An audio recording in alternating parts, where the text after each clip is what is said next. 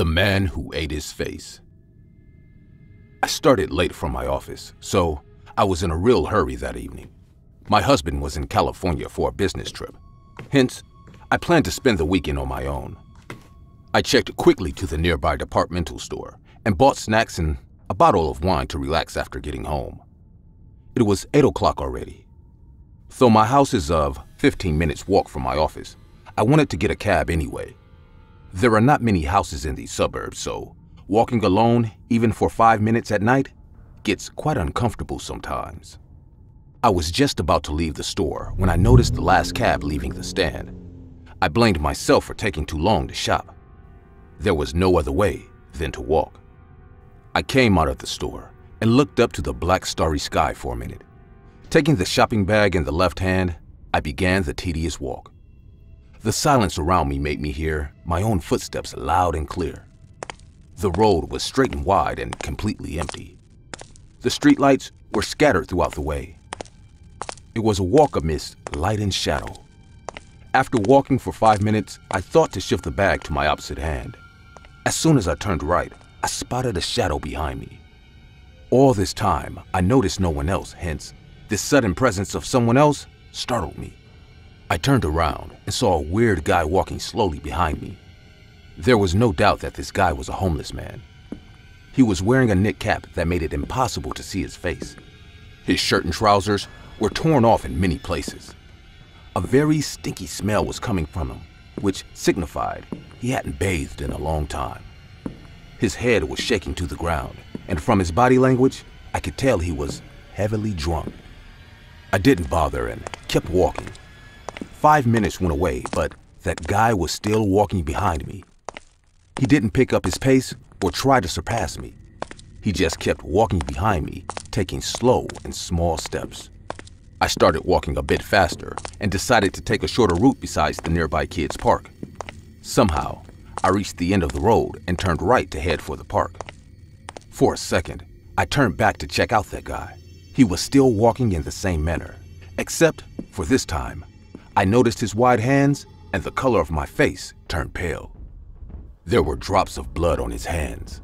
It seemed like someone scorched the skin out of his hand, making the blood gush out of his flesh. A sound of chuckling came from his mouth. I still couldn't see his face. Terrified and shocked, I ran towards home. This time, the man picked up his pace and started to run behind me, making that obscene, spine-chilling laughter. The more I ran, I heard his chuckles turning into mad cries. His behavior implied that my fear was entertaining him immensely. I was panting and perspiring even on that chilly winter night. As I managed to cross the park, I noticed the porch light of my house within a distance of 10 to 15 feet. I bashed myself on the front door of my house. I took out the key under the doormat quickly.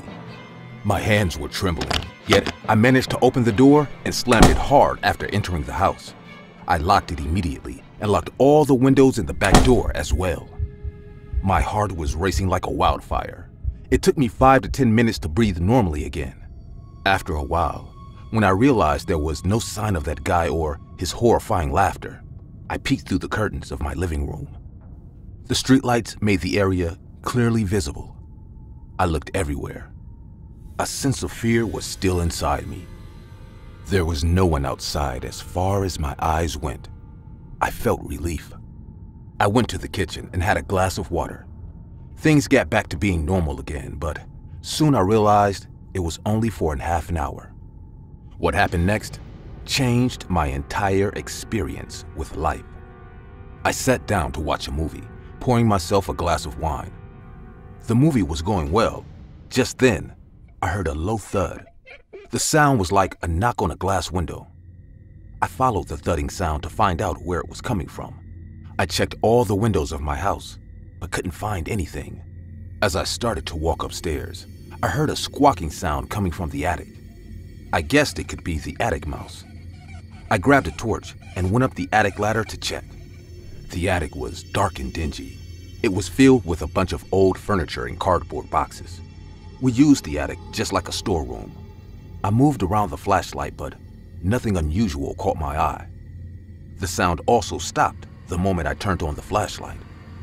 I thought it was my tired head imagining everything. I headed for the ladder to get down and go to bed. As I took the first step, that squawking sound began again. My ears followed the direction of the sound. I had no doubt this time that it was coming from my little attic glass shed. I flashed the light onto the sound. I was a bit drunk, so it took me a second to figure out. But when I did, my heart flunked to my throat. It was him, the homeless man. He was leaning over the attic glass window. As he knocked the glass with his long, dirty nails, the squawking sound came out again. His face was full of scars. I could see clotted blood all over his face. He started to scratch the skin with his filthy nails. I was standing there, numb. I didn't know how to react. He was looking directly at me. His inhuman stare made me feel like he almost licked my soul with his bloody tongue. He started to laugh like a maniac, then started to tear his own skin with his long, sharp nails. He continued his malevolent laughter by spitting blood all over the attic window. I wanted to run away from my own house, but I knew the way I will be safe is to stay inside the house. The man didn't just stop there. He started to eat his skin after scrubbing it off. I could almost hear him chewing on his own flesh. I felt like I am going to faint. There was nothing more vicious I have ever experienced in my life than watching him doing these insane things to his own self. Suddenly, I heard the phone ringing downstairs. I ran immediately and picked it up. It was my husband. I told him there's a maniac on our roof. He immediately called 911 for me. My mother, who lives three houses away, rushed to my house after hearing everything from him over a followed phone call. I was sobbing and walking around the house after being scared like hell. My eyes went onto every window, thinking maybe now that devil will break in. I waited, sitting in the corner of my living room for my mother, shivering, sweating, heavily breathing and gasping. After five minutes of waiting, which felt like a long five hours, my mom arrived. Just when my mom's car pulled into our driveway, I heard a loud thud as if someone jumped from a high place to the ground. Then I heard sounds of running footsteps. My mother stayed with me until my husband came back. I couldn't sleep that night at all. My mom said I had several nightmares and murmured in my sleep. The police came and searched the entire locality, but they found no one. Two days later, local news flashed that Atlanta police have arrested a meth addict, rapist, who recently broke from prison. The guy had murdered three young girls after abducting them from an empty road. Due to heavy drug problems, he has been put under strict watch to keep him away from availing any kind of drug. He was so violent and highly addicted that he scratched his own arms and legs for not getting drugs. The TV channel also flashed his face. The image they showed was of a mutilated faced man. He was wearing the same knit cap and shirt and trousers. I couldn't make out his face, but his spine chilling smile remained the same. I still can't figure out how he climbed up the roof. It's even more terrifying to think that he might have spied and waited for a while to figure out I was alone in my house. The impact of the incident left me in terrible shock. I couldn't walk alone at night for almost a month. I am still afraid to be alone in my own house. My husband has put up a high security alarm in our house. Even then, when he goes abroad for office work, I go to stay with my mother or sometimes she comes to stay with me. Wherever that man is, I pray to God that we never, ever meet again. Every year before Christmas, a terrifying feeling grabs my heart and mind. It's been 10 years, but I still can't erase the haunting memory of one Christmas day. My son was 5 years old when this incident happened. After the separation from my husband, Damien was my everything. He was always nice to people and good with kids at school. Whenever I went to pick him up from school, I always saw him surrounded by friends. I was happy to see him fitting in nicely with groups. The week before Christmas, Damien's school staged a children's play. After the show ended, I was driving home with him. I was praising him for his excellent performance in the play when he just told me, I made a new friend today, Mom. I smiled back and said, You've been such a good boy this year, and I'm sure Santa will bring you lots of gifts for Christmas. His face lit up when I told him that. We got back home and had dinner. I tucked Damien into bed and he went to sleep. The next morning, when I woke up and went to the kitchen to make breakfast, I noticed the cookie jar was broken. Shattered glass and cookies were lying all over the kitchen floor. I got really pissed off and called Damien into the room. Damien was brushing his teeth and came to the kitchen about 10 minutes later. He looked up at me and said, What is it, Mom? I said in an angry voice, Did you break the cookie jar last night? He shook his head and said, No, it wasn't me. I said, Really? Then who was it? Damien looked at me and said, It was Mr. Nobody. As I was in no mood for such jokes, I got even more angry and said, Don't you try to fool me, Damien. Damien started to sob and said, I am telling the truth, Mom. I told you I made a friend yesterday. He said his name was Mr. Nobody. He was the one who broke the cookie jar last night. Then he started to cry. I picked him up into a big hug and decided to drop the issue. I figured, like every other child, he too had an imaginary friend, and due to the fear of being grounded, he was just making up a story. Christmas was now two days away. My ex husband called and said that he'd like to join us for Christmas dinner. I knew how much Damien missed his father, so, for his sake, I decided to put aside our marital issues for one night. That evening, I was doing house chores when I heard Damien's footsteps in my room. Damien, how many times have I told you not to play in my room? I screamed out loudly. I could see a shadow moving on the wall opposite my bedroom door. I rushed to the corridor to scold Damien. I was about to peek inside when I heard Damien's voice from behind me. Mom, I'm hungry. I was shocked and absolutely terrified at the same time. I slowly walked towards him and said, Did you go into my room? But Damien said, No, I was in my room, and did something really creepy. He looked over my shoulder as if someone was standing behind me. I immediately turned around, but didn't see anyone there. Later on, I checked my room and the entire house, but all the doors and windows were already locked. Also, there was no sign of any forced entry. I got really worried this time and noticed weird things happening around the house. I started decorating the house as Christmas was knocking on the door. But sometimes I noticed things being misplaced from their positions. Like if I kept a lamp beside the porch in the living room and left for a few minutes, I always ended up finding it in the corner of the wall. Damien was too small to lift such a heavy lamp, and there was no one else in the house. One night, I went to the kitchen to get a glass of water and thought to check on Damien on my way back. As I got close to his door, I heard his voice talking. He was speaking to someone. He talked in a very low voice, but I could still hear him. Damien was saying, You can't walk around the house at night like this. If Mom sees you, she won't let you stay with us. I immediately entered his room, thinking someone broke into our house, but there was no one inside. Damien was sitting on his bed nervously. I asked him, Who were you talking to? He looked towards his closet and then looked back at me. I said in a tensed voice, Damien, you are scaring me now. Is there anyone in your room? He still didn't say anything and just kept staring at me. I went to the closet and opened the door with my trembling hand. There was no one inside. I heaved a sigh of relief and scolded Damien for staying awake so late. I tucked him into bed and went to bed myself. I couldn't sleep that night.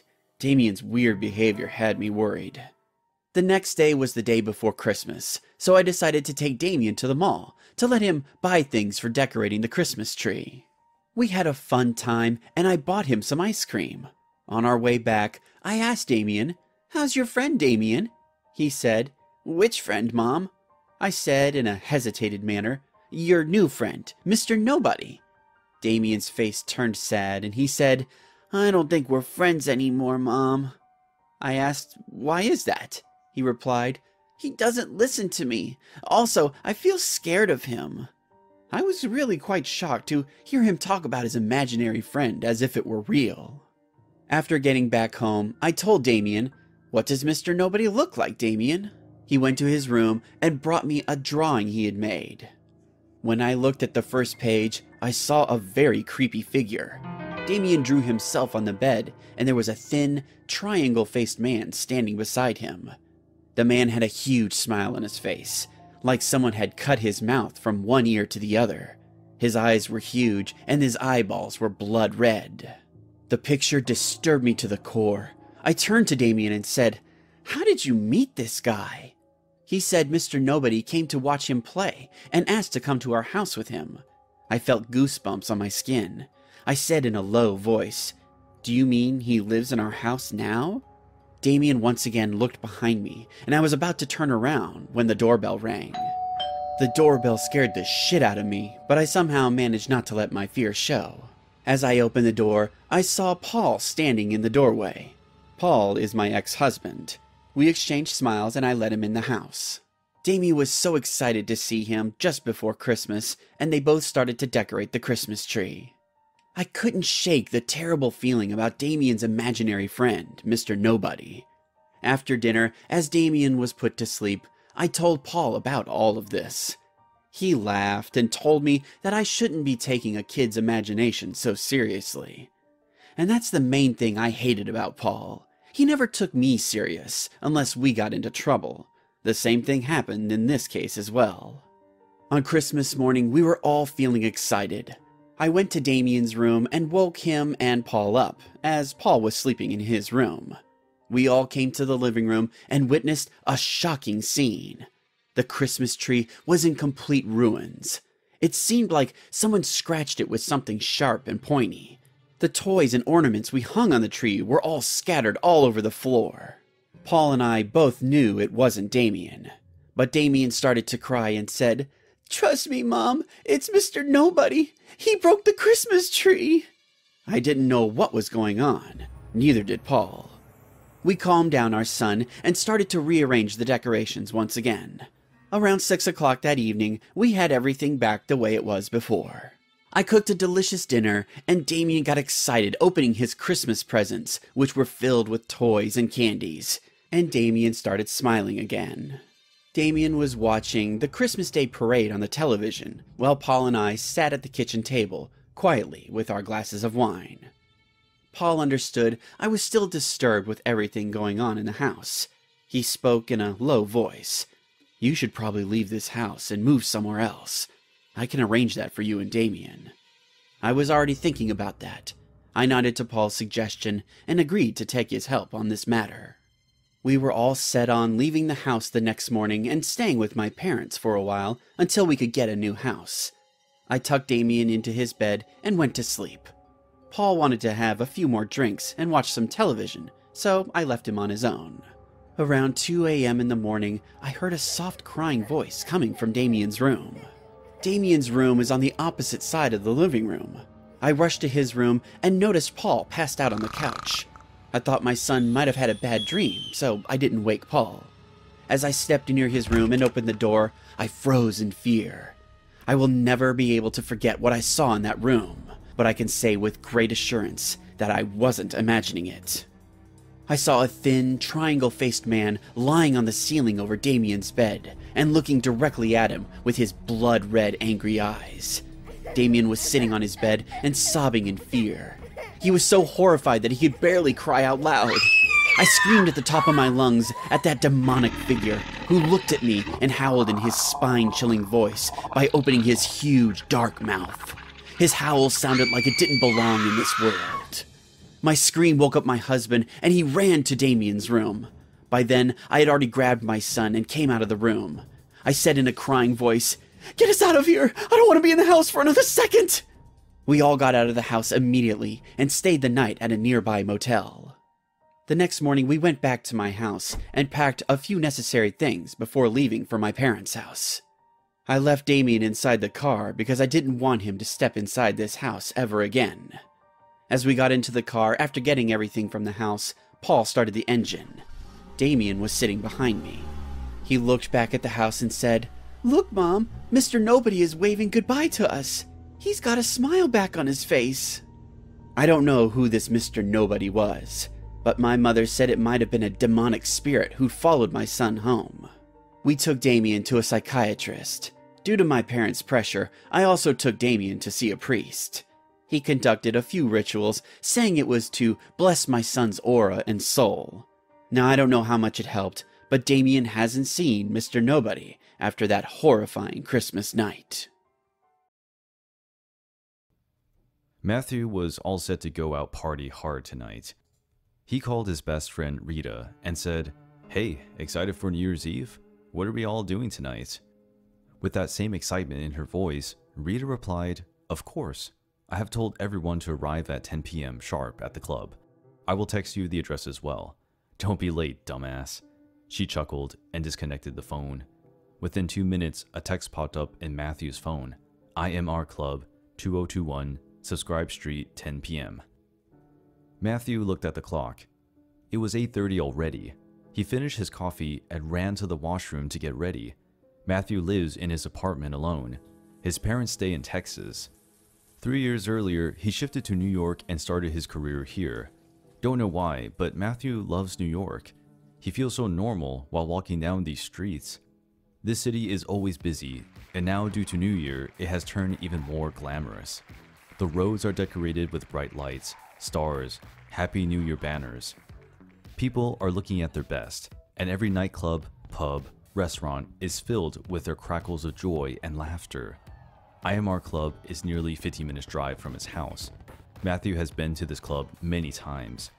Rita and Matthew often go there to grab a drink after a long, tiring week at work. The streets are covered with white snow, and blinking decorations appeared like a dream to Matthew. He stood near the wide dining hall while combing his hair. His phone rang suddenly, and he snapped out of his thoughts. It was his mother. He answered the call. Hi, Mom. What's up? His mother spoke from the other side. Happy New Year in advance, honey. Don't get too drunk. Matthew laughed and replied, Come on, Mom. Also, it's still the 31st of December. He talked to her for a while and noticed it was 9:30. Matthew ended the call with his mom and hopped inside his car. While driving to the club, crowds of people could be seen cheering on the streets. Matthew parked his car near the club and saw his friends standing in front of the club and waiting for him. He went to them, and everyone got super excited. Matthew was about to enter the club with them just when his eyes went to the dark corner at his left. A man was sitting in the corner, hiding his face into his knees. He figured out that there's a small, dingy alley lying in that corner. Suddenly, he lifted up his face and looked at the sky. His face looked heavily scarred. He then looked at Matthew and smiled with his crooked tooth and heavily scarred face. There was something in his smile that made Matthew's heart crawl into his throat. Rita came to him and said, What happened? Let's go. Matthew shrugged off, saying nothing, and went inside the club to party on New Year's Eve. With the sound of joy and laughter, a group of young people celebrated New Year's Eve at IMR Club, and at 12 p.m., they all wished each other a very happy new year. Around 1 o'clock, we all got up to leave. Matthew wished Rita good night and came out of the club looking for his car. The streets were still brimming with people celebrating the new year. He took out the keys and approached the car. Matthew noticed that he has forgotten to lock the car earlier, but he was too drunk to stand there and regret his mistake. He got inside and started the car.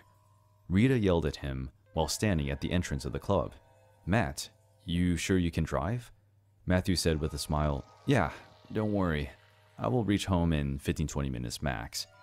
He then waved his friends goodbye and drove away.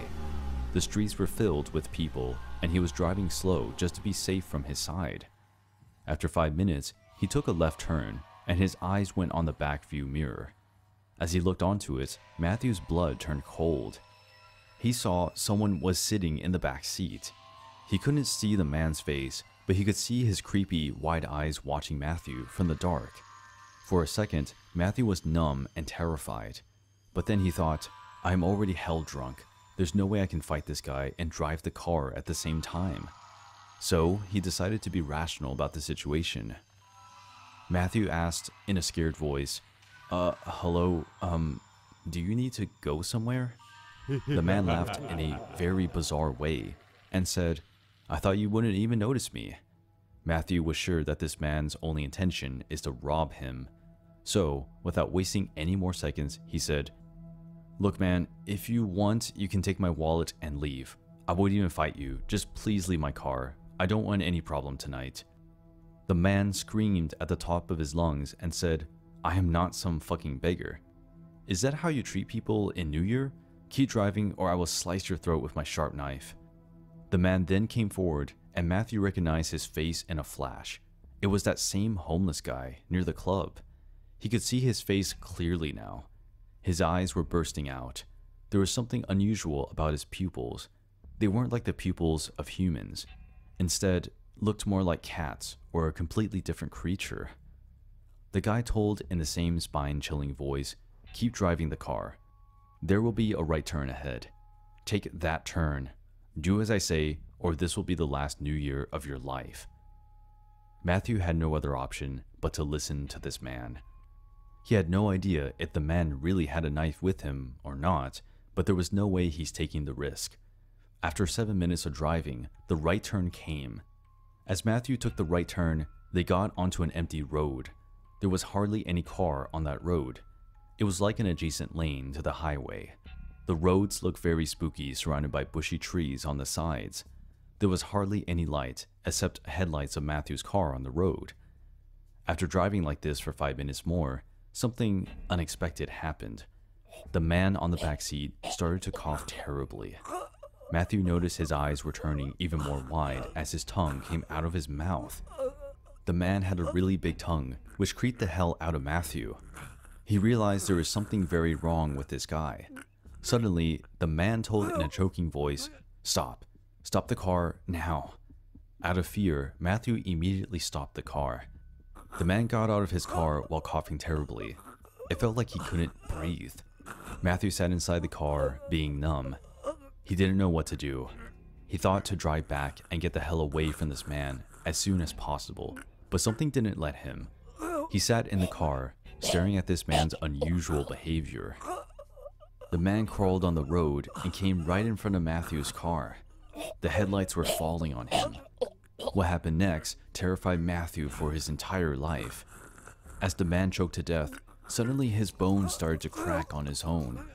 He sat down on the highway while screaming like a creature from another world. The sound of his bones creaking fucked up Matthew's mind completely. He was already in a state of trance due to the alcohol. Now the sound of choking mixed with the bones cracking felt like a living nightmare.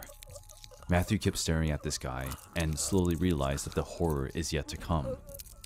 After a few seconds like this, the man suddenly got up and started to tear his own skin from his body. The way he was tearing off his skin made it seem like he was wearing a costume. He threw patches of skin, soaked in blood, here and there while screaming in pain. Matthew couldn't believe what he was witnessing. He knew he wasn't that drunk to imagine all this shit.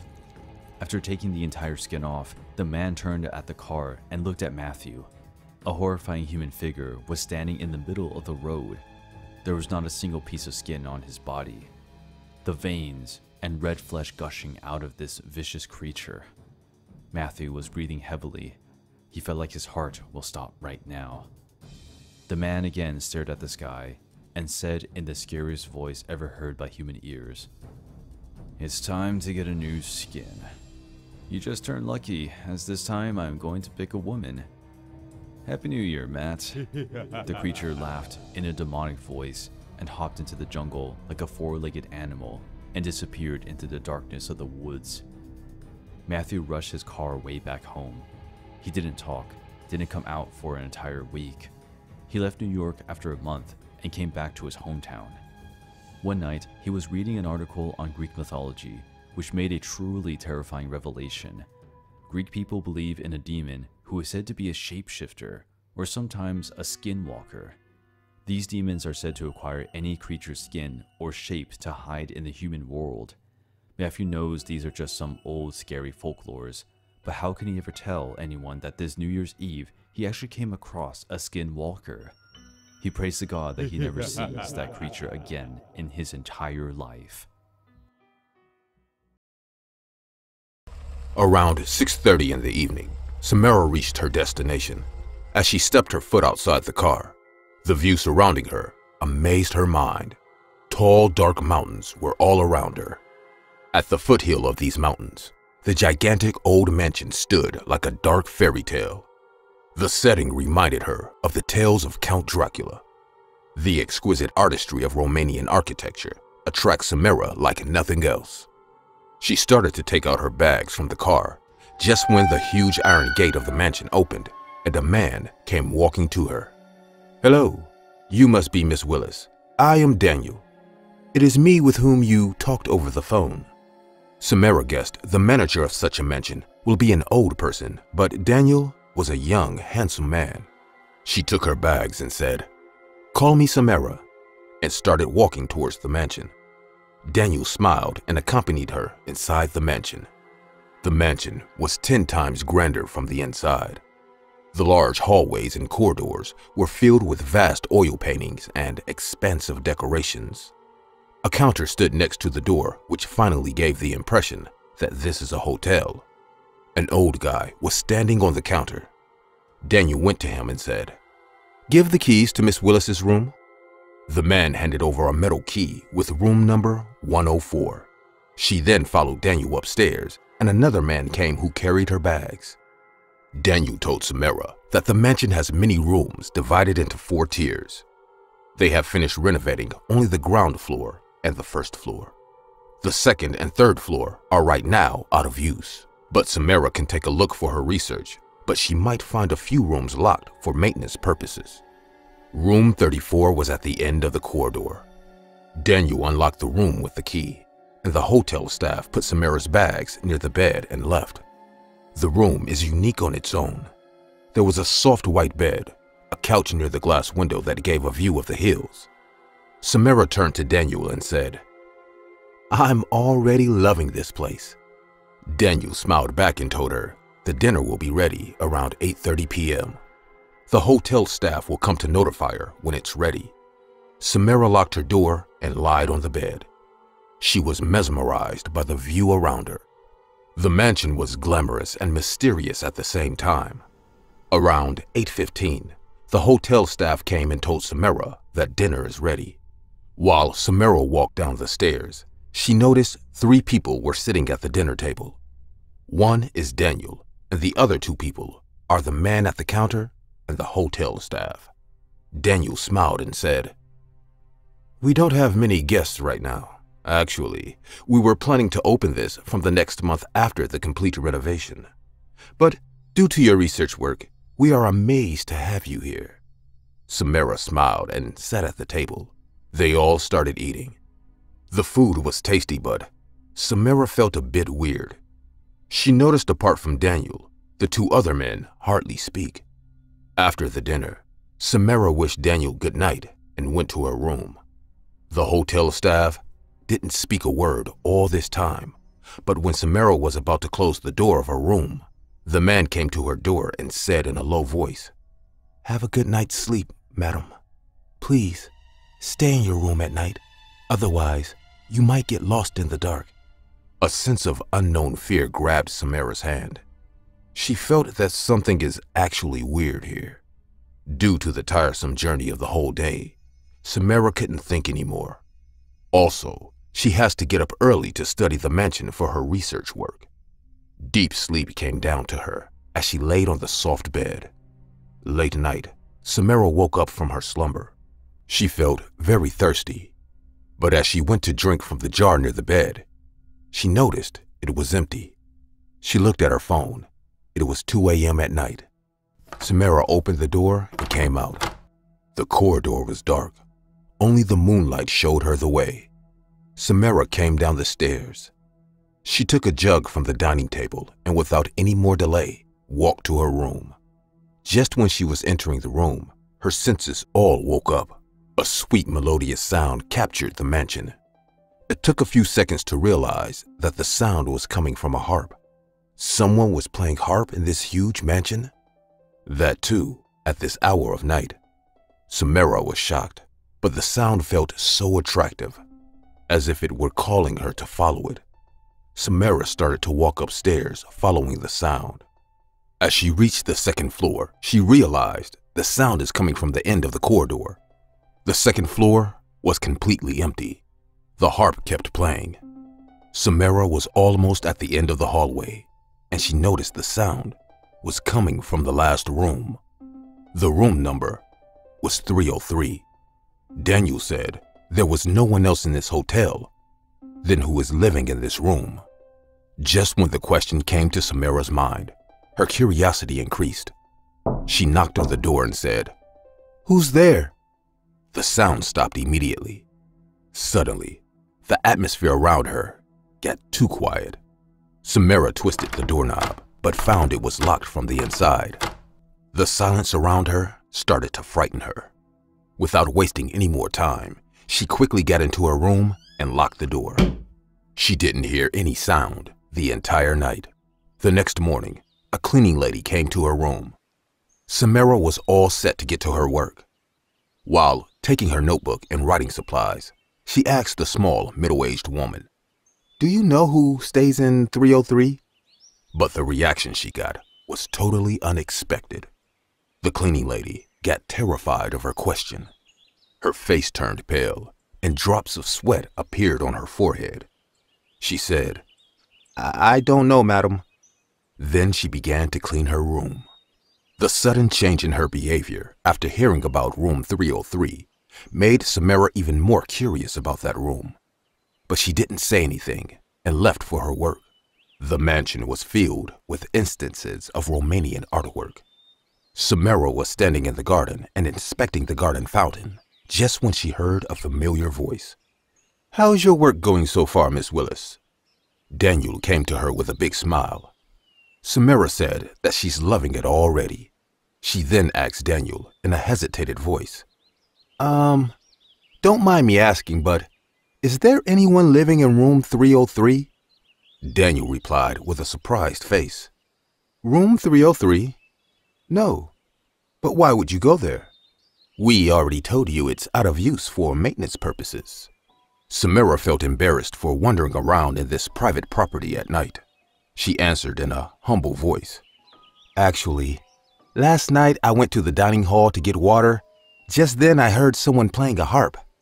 I followed the sound and discovered it was coming from room 303 on the second floor. I just got curious because you told me there was no one else living here. Daniel hesitated too and said, um, yes. I told you the truth. No one lives in room 303. Old mentions like this sometimes resonate with many types of sound. I am sure it was something like that, what you heard last night. So, enjoy your stay, Miss Willis. Daniel's words made Samara realize that he didn't at all like the incident of last night.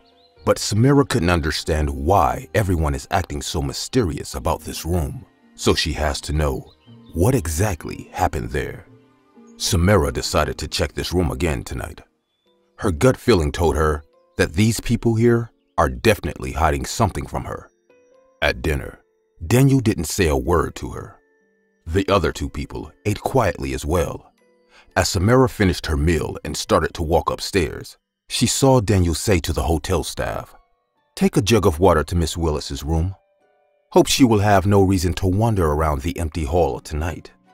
And then gave her an angry look and left. Samara became even more stubborn now. After the hotel staff left the jug in her room, she locked the door and switched off the light and started to wait silently. Tonight is the night. Samara will find out what's the matter with this room 303. Around 2.30 a.m., she came out of her holding a candle in hand. The mansion was completely silent. Only the whooshing sound of the rusty wind outside was echoing in the hallways. She tiptoed to the second floor and reached near room 303. As she twisted the doorknob, the door opened with a creaking sound. How strange. The door was unlocked tonight. Samara entered the room. The room was freezing cold. There was a large window in the room which had no glass on it. A cold wind was coming from the window by blowing its dirty curtain away. The moonlight from the window and the candlelight on Samara's hand made the room look very spooky. She noticed this room is just like her room, but it had only one difference. An old wooden harp stood in the middle of the room.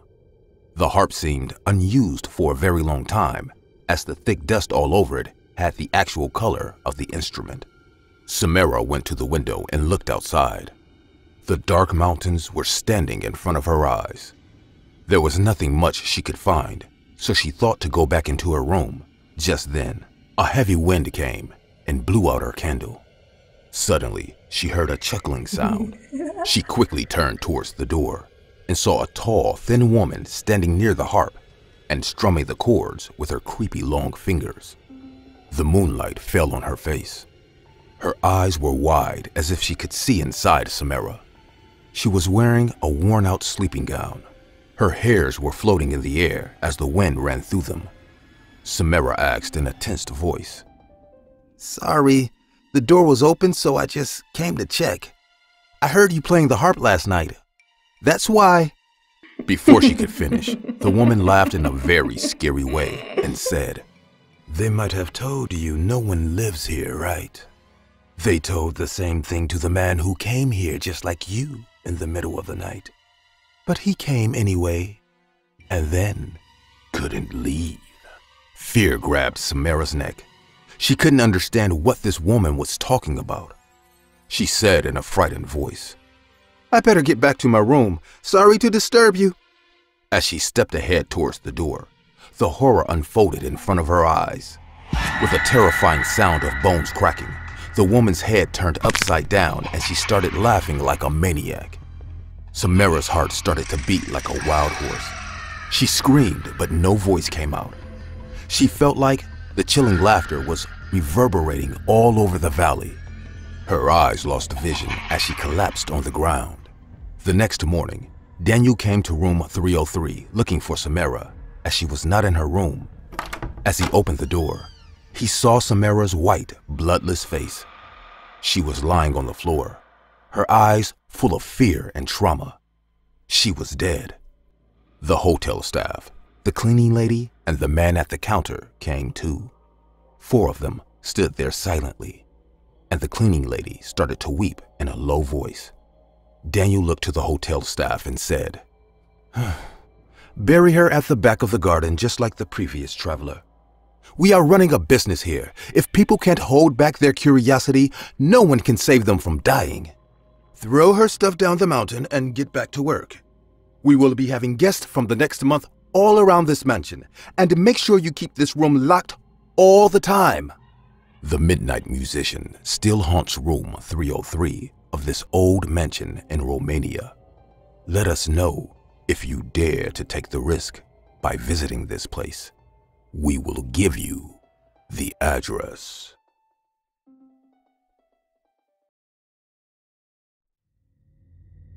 My solo hiking trip. It all happened during a hiking trip three years back. I have always been athletic from a very young age. My parents enlisted me into a rock climbing crash course when I was just 12 years old. I have taken years and years of training, and above all that, I always loved spending time in nature. I went on a hiking trip near Utah's White Mountains. The ambiance felt amazing as I walked amidst dense forest staring at the mountains surrounding the area. Forest has a different sound than any other landscape. I could hear owls hooting, the wind howling, and many unknown forest creatures hiding behind tall, wide trees and dark bushes. The sun was shining bright, but the forest was covered with big bushy trees, hence, the sunlight could hardly touch the forest ground. Being a nature lover, I had a habit of bird watching as well. I always carry my binoculars whenever I go hiking. The nature around me felt so amazing that I lost track of time. While I was busy watching a big, colorful bird fly away from one tree to the other, I realized the sun was about to set soon.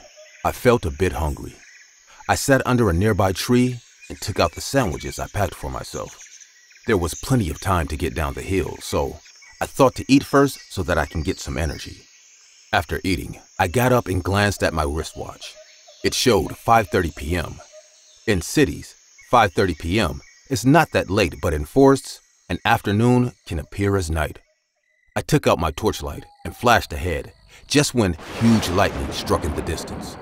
I looked up at the sky and noticed dark clouds have summoned themselves and were ready to pour at any moment. I didn't expect rain, so I didn't bring my umbrella with me. I got a little worried now and started to walk fast. I calculated inside my head that after half an hour of straight walk ahead, I will reach the downhill road. As I walked, I kept hearing the dark clouds roaring above my head, the wind blowing rapidly among the forest. After 15 minutes, big drops of rain started to fall above the trees and a huge thunderstorm took place. It was thrilling, but scary at the same time. I was in a deep, dark forest, that too, in the middle of a thunderstorm. The wind got so gusty that I could barely walk. The heavy raindrops almost pierced my skin after falling from the sky. I had no idea what to do, and just when I started to run, my feet get stuck in a pit. I fell on the wet forest floor. It was raining so heavily that I overlooked the pit on the ground. My flashlight broke with a loud sound, and the atmosphere around me turned dark and scary. I somehow managed myself and got up, but after walking for 10 more minutes amidst this terrific storm, I realized that I have lost my way. I looked at my watch and it showed 8 p.m. By this time, I should be going down the hill, whereas I was still stuck in this dense forest. There was no way I could call someone for help. The storm was growing with each minute. Suddenly, an idea came to my mind. I climbed up the tallest tree nearby and took out my binoculars. As far as my eyes went, I could only see the forest. Just when I was thinking about how horrible it would be to spend the night in these trees with an ongoing storm around me, I noticed a yellow light on the left side of the forest. I zoomed a bit and saw a wooden house standing there. I immediately came down from the tree and started to run towards the house. I was adamant because this was my only chance to survive the night.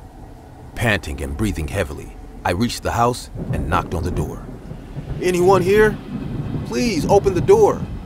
I could hear the low voices of people coming from the house. I knocked again and almost cried. Hey, please help.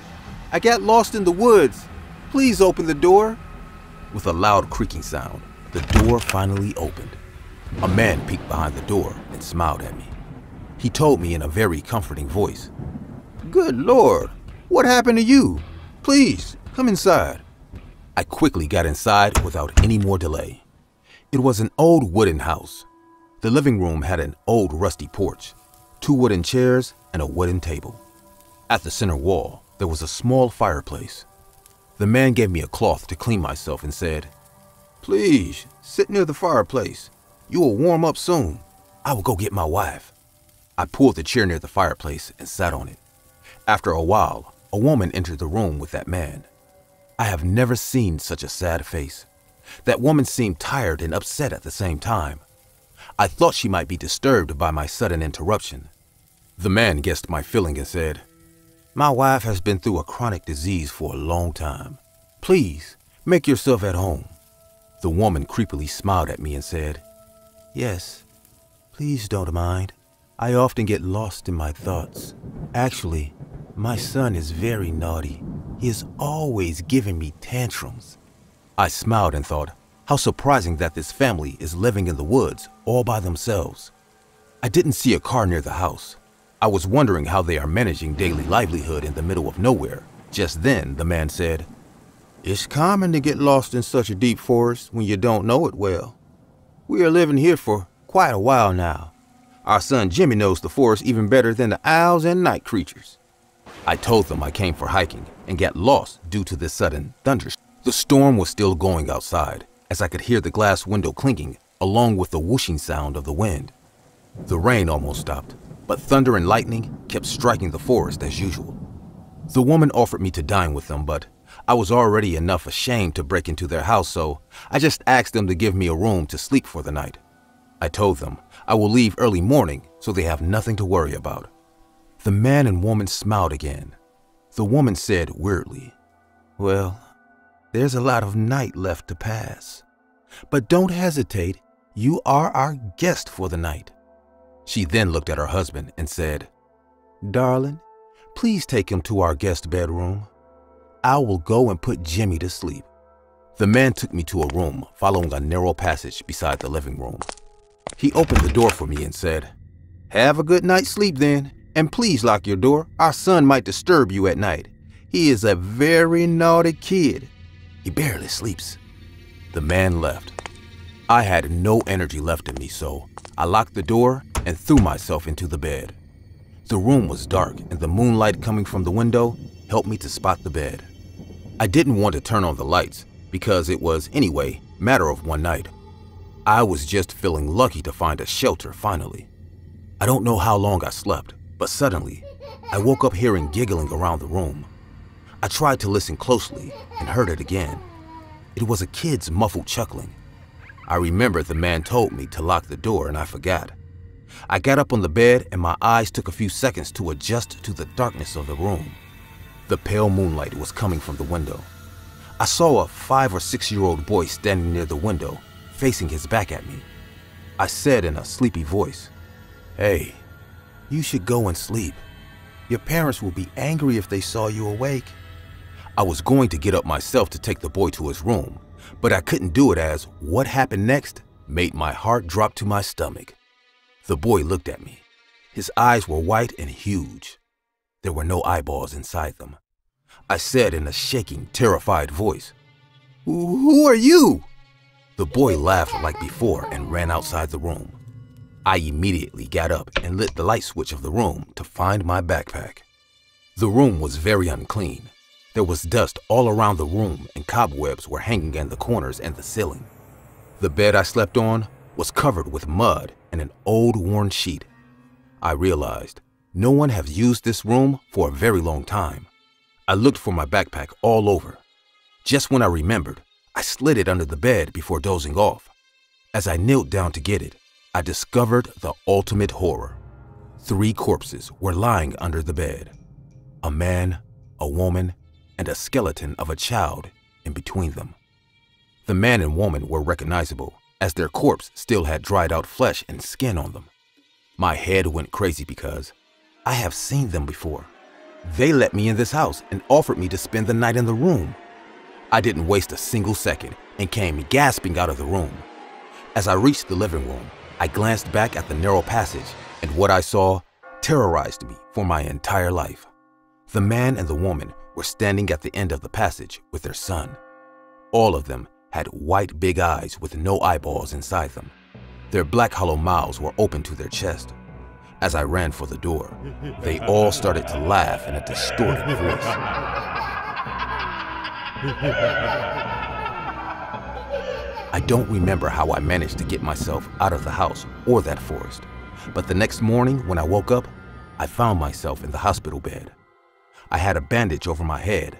My arms were filled with scratches and my body was covered in immense pain. A police officer came to me and said that some village people found me unconscious in the forest, covered in mud and blood. They informed the police officers, and I eventually ended up in this hospital. The cop asked me about all the details, and without thinking, I told him all I could remember. I told him how I took shelter to a house of a dead family and every other thing that I could remember. The cop took a pause and said, I can't tell you what you saw was real or your imagination, but there is a house in the forest. But no one goes there as local people believe it is to be haunted. The house is completely abandoned and highly unusable for any living human being. I don't think anyone has lived there for the last 10 years. I asked him, But what happened there? The police officer said in a sad voice, A small family lived there. A man built that house to live in peace with his wife and only son named Jimmy. The boy fell ill with a bite of an unknown forest insect. He used to play in the forest even though his parents told him not to. They couldn't save their only son, and out of pain and guilt, the man and the woman hung themselves. Some people say they did it to live with their little Jimmy's spirit. And since then, their ghosts haunt that house every night. The cop also told me that there's a saying that if you go to the house in the daylight, you won't see anyone. But at night, the house turns into a regular cozy home like everyone else's. They even heard laughter coming out of the house at night, like a happy family is having dinner together.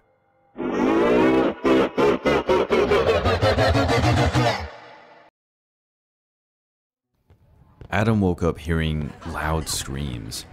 It was coming from his neighbor's house. They were having a New Year party, Adam looks at the clock. It was 12 p.m. He heard them wishing Happy New Year to each other. Adam's life has changed a lot within the last year. He got up from his bed and looked at his bedroom wall. The wall had an enlarged picture of a married couple. It was Adam and Selena. Adam met Selena while studying college. They got married and were living a happy life when Selena suddenly changed into a different person. She was seen depressed all the time. Last year, on this day, Selena jumped from his office roof Adam still doesn't know why Selena committed suicide. He doesn't even have the minimum idea of what she was doing at his office that night. Staring from his bedroom window, Adam saw the entire sky filled with colorful crackers. Everyone in the city is busy celebrating the new year, except Adam. He got back to his bed and tried to sleep. He has lots of work tomorrow. Just when he closes his eyes, his phone rang. It was a call from Sophia. Sophia was Adam's secretary, but she left the job last year. Adam answered the phone, saying, Yes, tell me. Sophia replied in a soft voice, Happy New Year, Adam.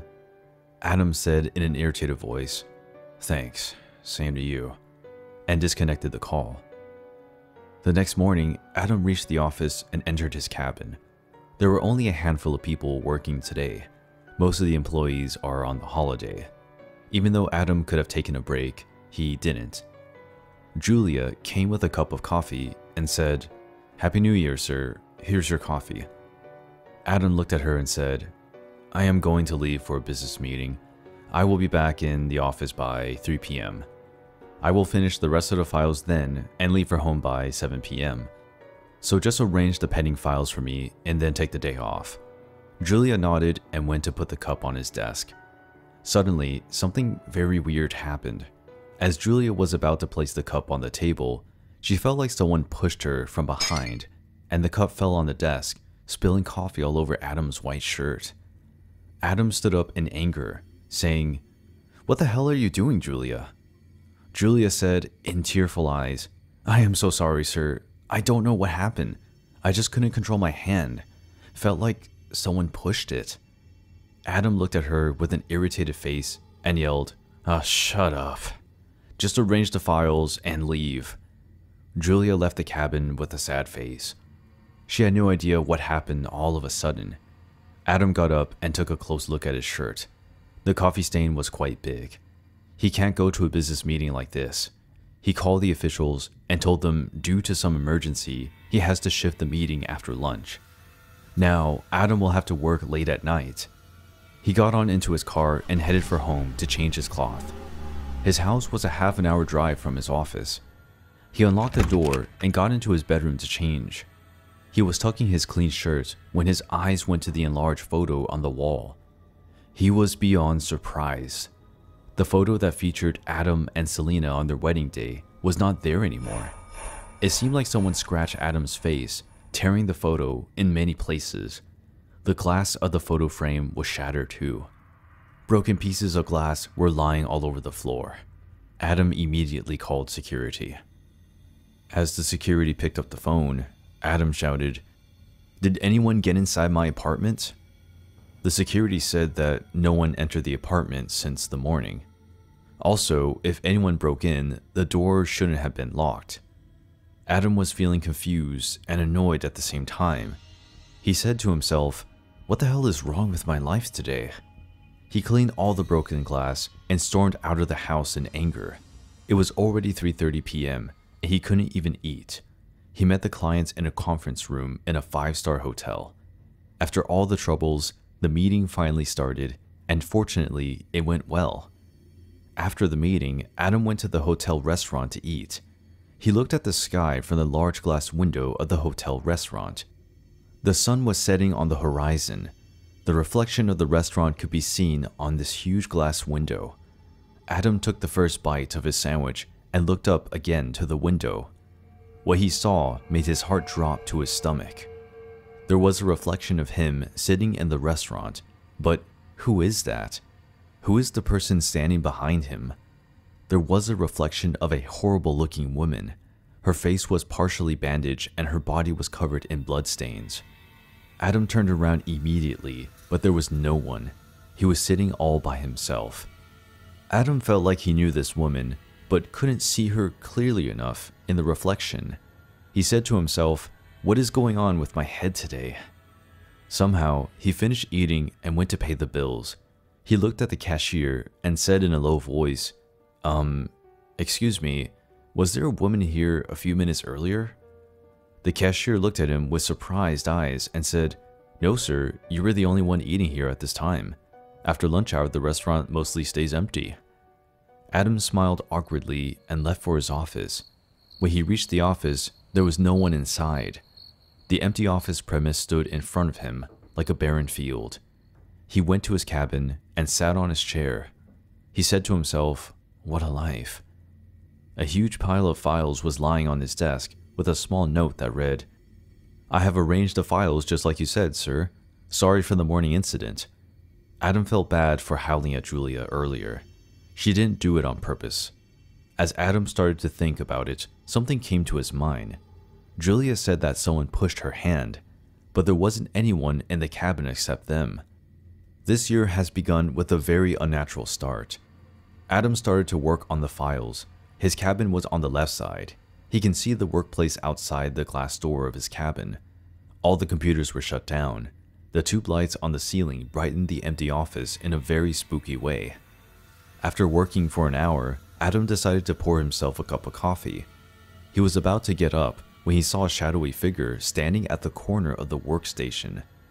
The corner was dark and far from his cabin, so he couldn't get a clear view. He came out and said in a loud voice, Hello? Anyone here? No sound came except the sounds of winds blowing. Adam checked the area, but couldn't see anyone. He walked to the coffee machine and inserted a coin for a black coffee. An uneasy feeling was going inside his mind, as if someone is watching him. Adam raised his hand to take the coffee cup, just when he felt someone chuckled in his ear. Out of shock, he spilled some of the coffee on the floor. Drops of sweat appeared on his forehead. Adam turned around, but couldn't see anyone this time as well. He said in a shaken voice, Who is there? Come on out. He started to feel scared now. He threw the coffee into the dustbin nearby and said, That's enough for today. I am going home. To hell with this office and to hell with this work. He rushed inside the cabin and picked up his coat to leave. As he opened the cabin door, he heard a woman's voice. Adam. Adam. Can't you hear me, hun? That voice said. Adam's face turned pale. He recognized this voice, but how could it be? It was the voice of his dead wife, Selena. He replied with hesitation, Is this some kind of fucking joke? Who is this? The woman said again, I am waiting for you, hun. Come here. Adam couldn't help but follow the voice. He walked to the office roof, following the sound. The roof was empty and dark. Small lights were placed at the edge of the roof. The chilling wind was piercing Adam's heart. He was feeling extremely cold. Suddenly, he heard the same chuckling sound behind him. As he turned around, this time his heart dropped into his stomach out of fear. He said in a panicked voice, Selena, oh my god, but you are dead, right? Selena replied. Her face was partially covered with a bandage. Blood was dripping from her blonde hair. Her clothes were ripped and soaked in blood. Adam's eyes were wide in fear and shock. He fell on the floor. Selena started to walk towards him, slowly, and Adam started to crawl back, like prey in front of a hungry lion. Selena said in a spine chilling voice, Happy New Year, hun. I have come to get you. Adam screamed in fear, saying, Why? What have I done? Selena replied, I saw you with Sophia. How could you do that to me? You don't deserve to live. Adam's face shook in shame. He indeed cheated on his wife with the secretary, but he never knew her ghost would come back to take revenge on him. He gasped and started breathing heavily. Please, forgive me. I fired her, believe me. Selena stopped for a second and said in a low voice, Do you want to see what happened to my face when I jumped off this roof? Slowly, she took off the bandage from her face. Adam has never seen such a horrifying face in his entire life. Her left eye was hanging down from the eye socket. The skin was smashed and red flesh was coming out of it. Her teeth could be seen widely as half of her lips were cut out. She screamed, scaring the hell out of him, and started to run towards him. Out of fear and huge shock, Adam lost all his senses and ran towards the end of the roof without seeing the edge of it. With a loud thud and blood freezing scream, Adam's body fell down from the sixth floor of his own office. Blood splattered all over the ground as his brains came out of his skull. The next morning, the local news flashed. An unfortunate death has taken place. Famous industrialist Adam Smith committed suicide last night from his office roof. A year back, his wife Selena Smith also committed suicide in the same manner. The police are investigating this matter. Everyone is shocked and out of words after discovering his body on the night of New Year.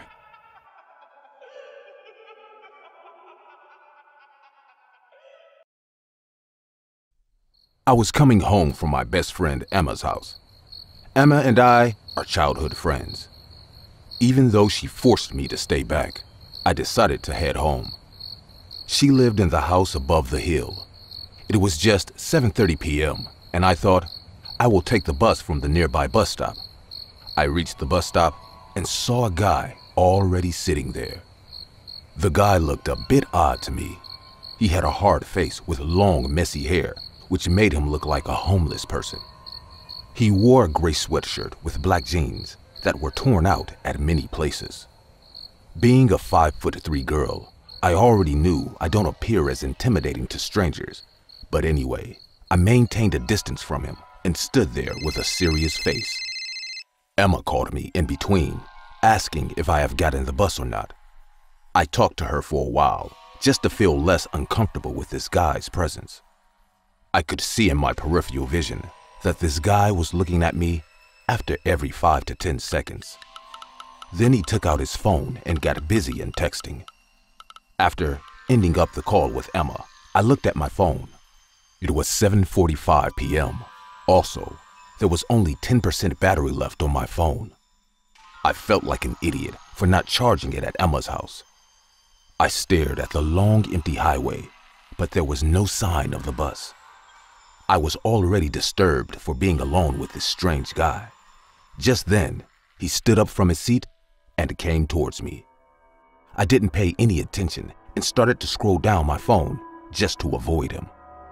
The guy came close to me and said in a husky voice, Hey, do you have a lighter?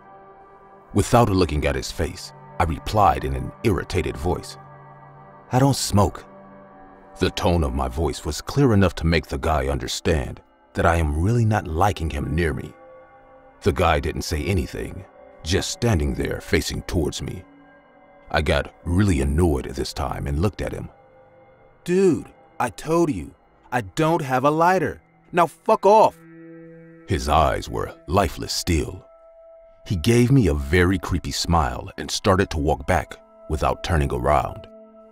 As he steps back, Facing at me, he said, You girls like to pretend that you hate attention, but that is exactly what all you bitches live for. I got really pissed off at him and shouted at the top of my voice. Listen, you jerk, if you don't leave this place right now, I will call the cops.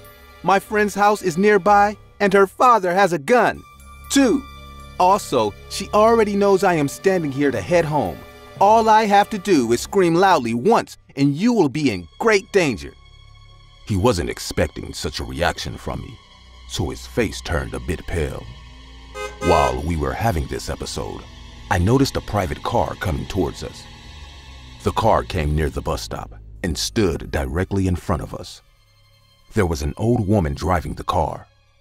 She looked at me and said, Do you want me to drop you, dear? I live down the hill.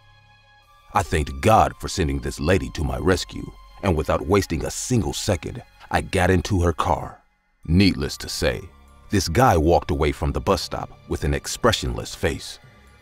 But when the car drove away, I saw him smirking at me from the rear view mirror. I couldn't believe his audacity, but somehow I calmed myself down. I quickly turned towards the lady and thanked her from the bottom of my heart. The lady looked at me and gave me a big smile. She then asked me what I was doing there with that guy. I told her I didn't know that guy and that he was bothering me in a very offensive manner. The lady then said, Women these days need to be more careful. You never know when you step into a trap.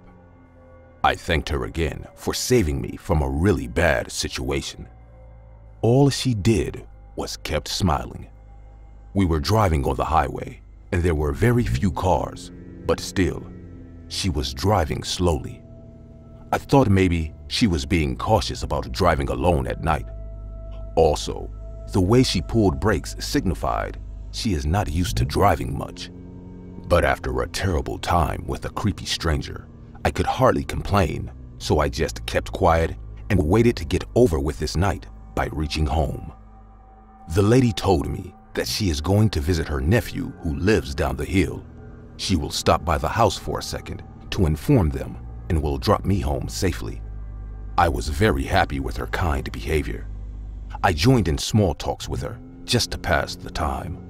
After 20 minutes of the ride, she stopped at a gas station to get gas. The gas station was empty, so I knew it won't take long. She got out of the car with her purse and told me to wait inside and went to pay for the gas. I decided to call my parents just to inform them why it's taking so long, but just then I realized my phone's battery had died. The lady forgot her phone on the dashboard, so I thought to make a call using it. I thought she wouldn't mind if I called my parents and I will also explain to her once she comes back. I took her phone and swiped the screen. The phone wasn't password protected, so I got lucky.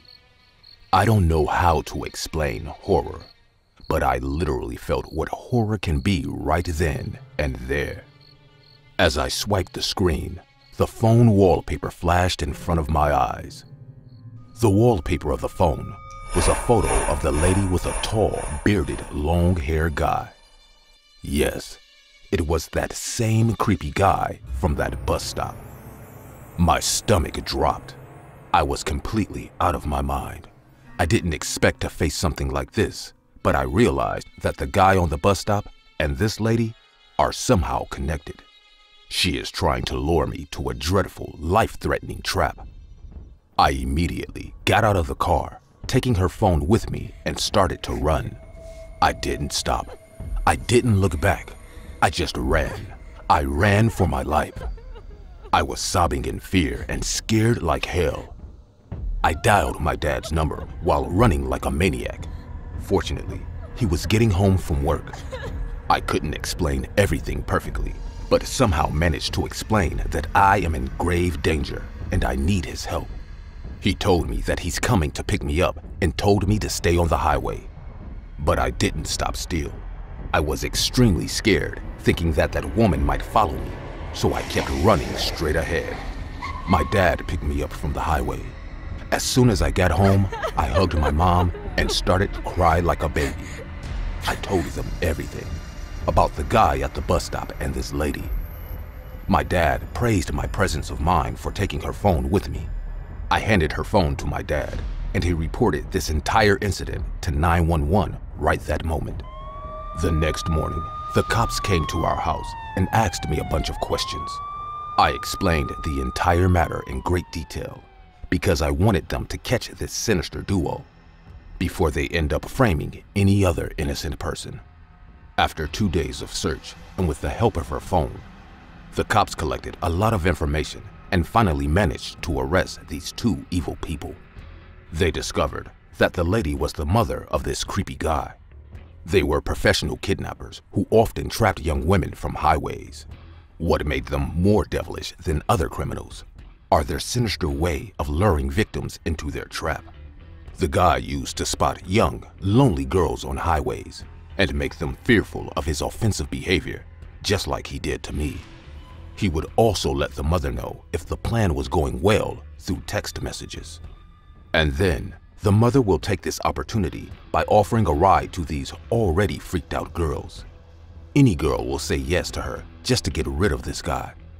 This way, She would kidnap that girl during the ride with some excuse, and both of them used to ask for ransom by making threatening calls to the victim's relatives.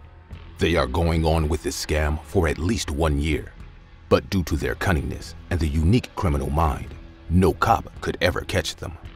Also, no one could testify how they looked as they murdered their victim after receiving the money, or not receiving it either. So far, they have killed three young girls in three different cities of California, and I was supposed to be their fourth victim if things didn't take a different turn for me. I still wonder what could have happened if she didn't stop at the gas station and I didn't think of calling my parents from her phone. It's been three months now. I have bought a car for myself with my own savings. I drive my own car everywhere I go, and if it gets really late, I choose to stay at my friend's place to avoid being alone on the highway at night. I will never forget what that lady told me that night, that women these days need to be more careful. You never know when you step into a trap. It was a chilly winter night. The snowfall was going outside. I threw woods in the fireplace just when my grandpa said, Tonight is bringing back memories of my young days. I was about your age then, Alex. I looked at him and smiled. My fiancée Rose was sitting right beside Grandpa. We came to spend the winter holidays at my grandparents' house. Grandma said in a soft voice, Which memory are you talking about? Grandpa replied, That incident regarding the winter night watch. Rose said in a curious voice, What is this winter night watch? Before Grandpa could reply to her question, Grandma said in a serious tone, Come on, Steve, don't scare these children with your horror story. They have come here for the holidays. Hearing this, I got interested as well. I sat down on the porch beside my grandpa and said, What horrible story? Grandpa said, in a calm voice, Well, it is indeed a scary story, but it is 100% true. But I won't blame you for not believing me. Rose looked at me and said in excitement, Please tell us. I love your horror stories. Also, this is a perfect night for scary tales. Grandpa took a sip from his glass of wine and said, This is not a story. I can tell you, but you sure won't get scared, right? I said in a confident tone, Yes, yes, we are not kids, Grandpa. Tell us. My grandpa started, I was living with my mum back then. I lost my father at a very young age. After finishing high school, I opened up a shop of my own and decided to take care of my mother. The locality where I grew up was a small town. Those days, cases of theft and robbery often took place during winter nights, so our local sheriff built a small group of its own to patrol the area. The group was divided into two sections to work as night watch alternatively. This was a way for young boys like us to earn some extra cash and also provide some community service. Also, it was fun to roam around the snowy streets with their childhood pals, drinking whiskey from the flask. We caught four thieves and stopped four robberies from happening due to this night watch practice. The town people appreciate this gesture of community service as everyone felt safe because of us. We were a group of three people, including me. It was me, Rob, and Simon. We all grew up in that town and were close friends. Every Tuesday and Thursday nights, we used to patrol the area with flashlights. Simon carried a rifle for safety purposes, but he never used it except one time. Rob was drunk most of the time. I used to carry an iron rod casually. One night, we were patrolling near the kids' playground when we heard someone scream.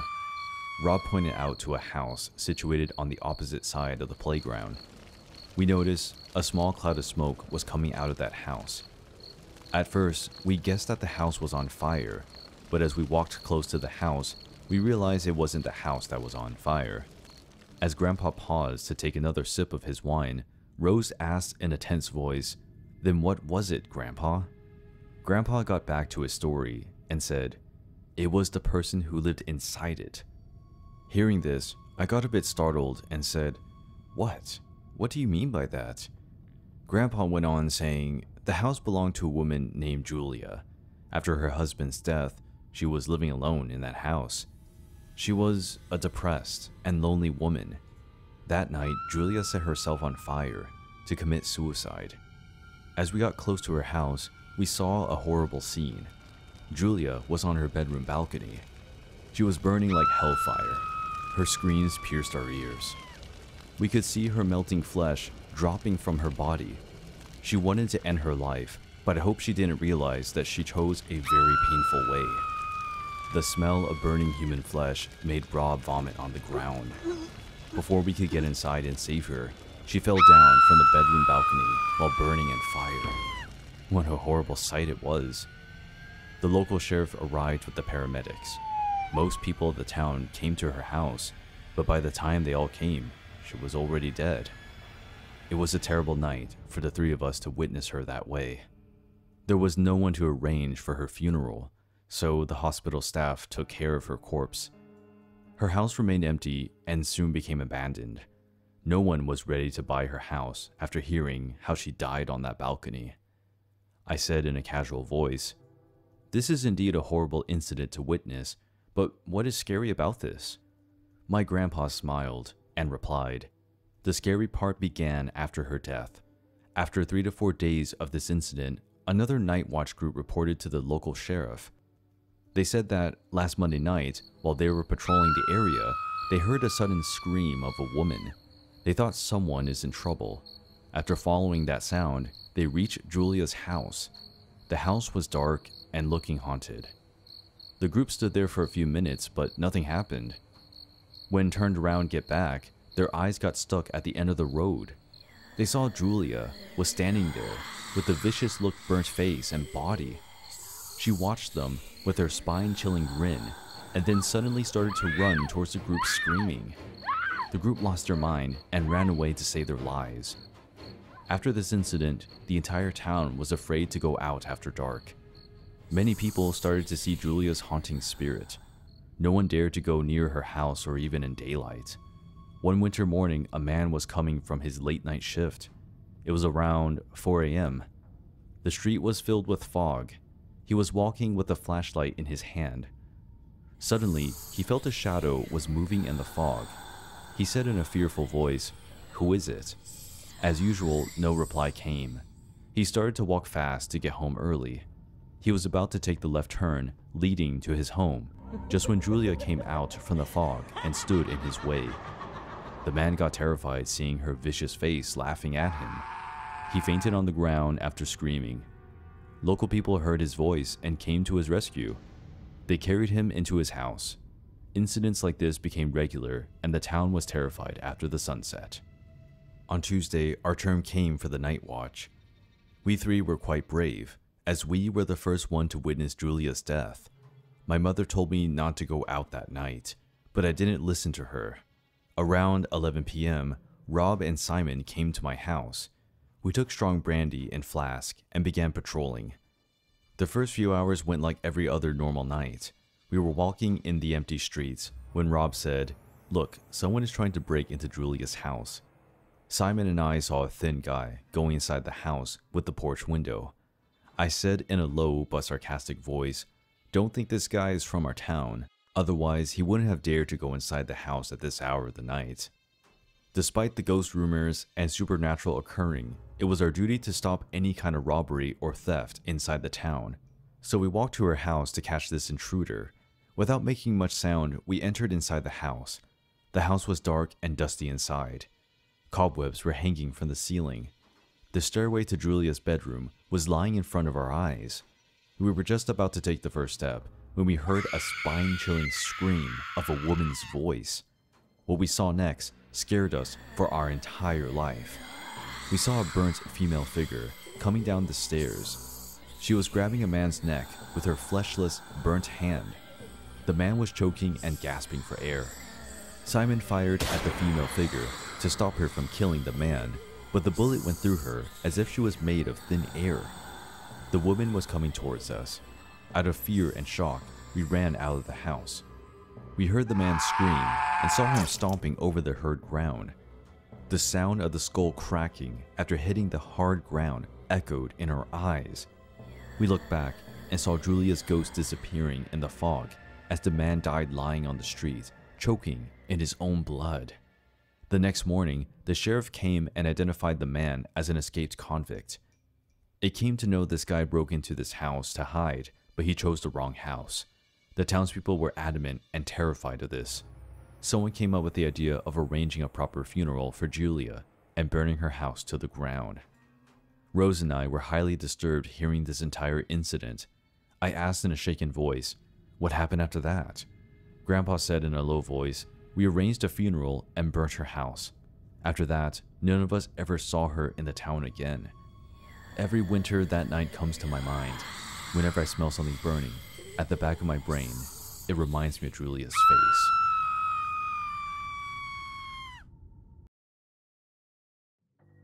Mike woke up early this morning. He went to the bathroom to freshen up and then looked into the mirror. He took a good look at himself and noticed the bruising on his left cheek. Last night, his father had slapped him hard across the face for calling him an alcoholic, which he actually is. Mike looked at himself in the mirror for a bit and said to himself, huh, Merry Christmas, Mike. When he was eight years old, his mother had died of cancer.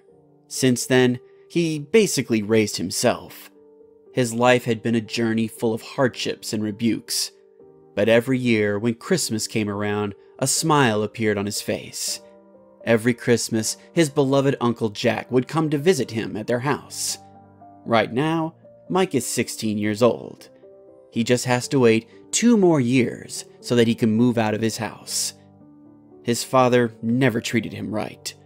Sometimes, Mike feels it's the alcohol that changed his father into this completely different person. Mike went downstairs and started to prepare breakfast. He peeked into the living room and saw the same sad scenario once again.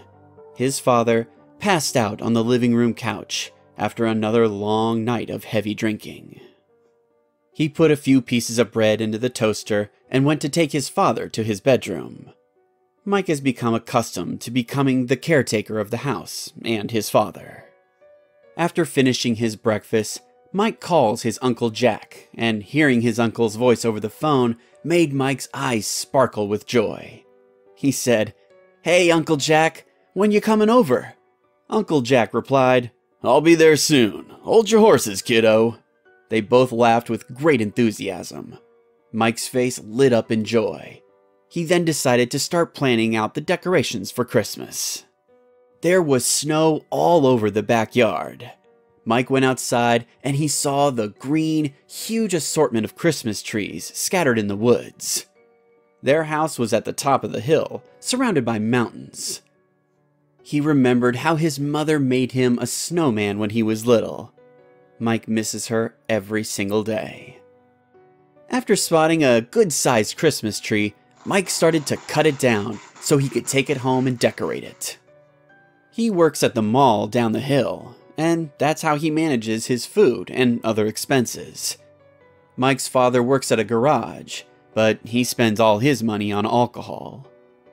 Around 7 o'clock that night, the living room was all prepared for a nice small Christmas celebration. Mike had put the Christmas tree right in the center of the room. Beautiful, colorful, shiny balls were hanging all over it. A golden bell was tied with a red bow, which was placed at the very top of the Christmas tree. Mike decorated the room with colorful chains.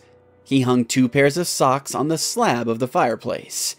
It was getting pretty cold, so Mike put some wood inside the fireplace and started a fire. Just then, he heard his father's coarse voice and looked behind him. His father was standing in the living room with that same angry look on his face.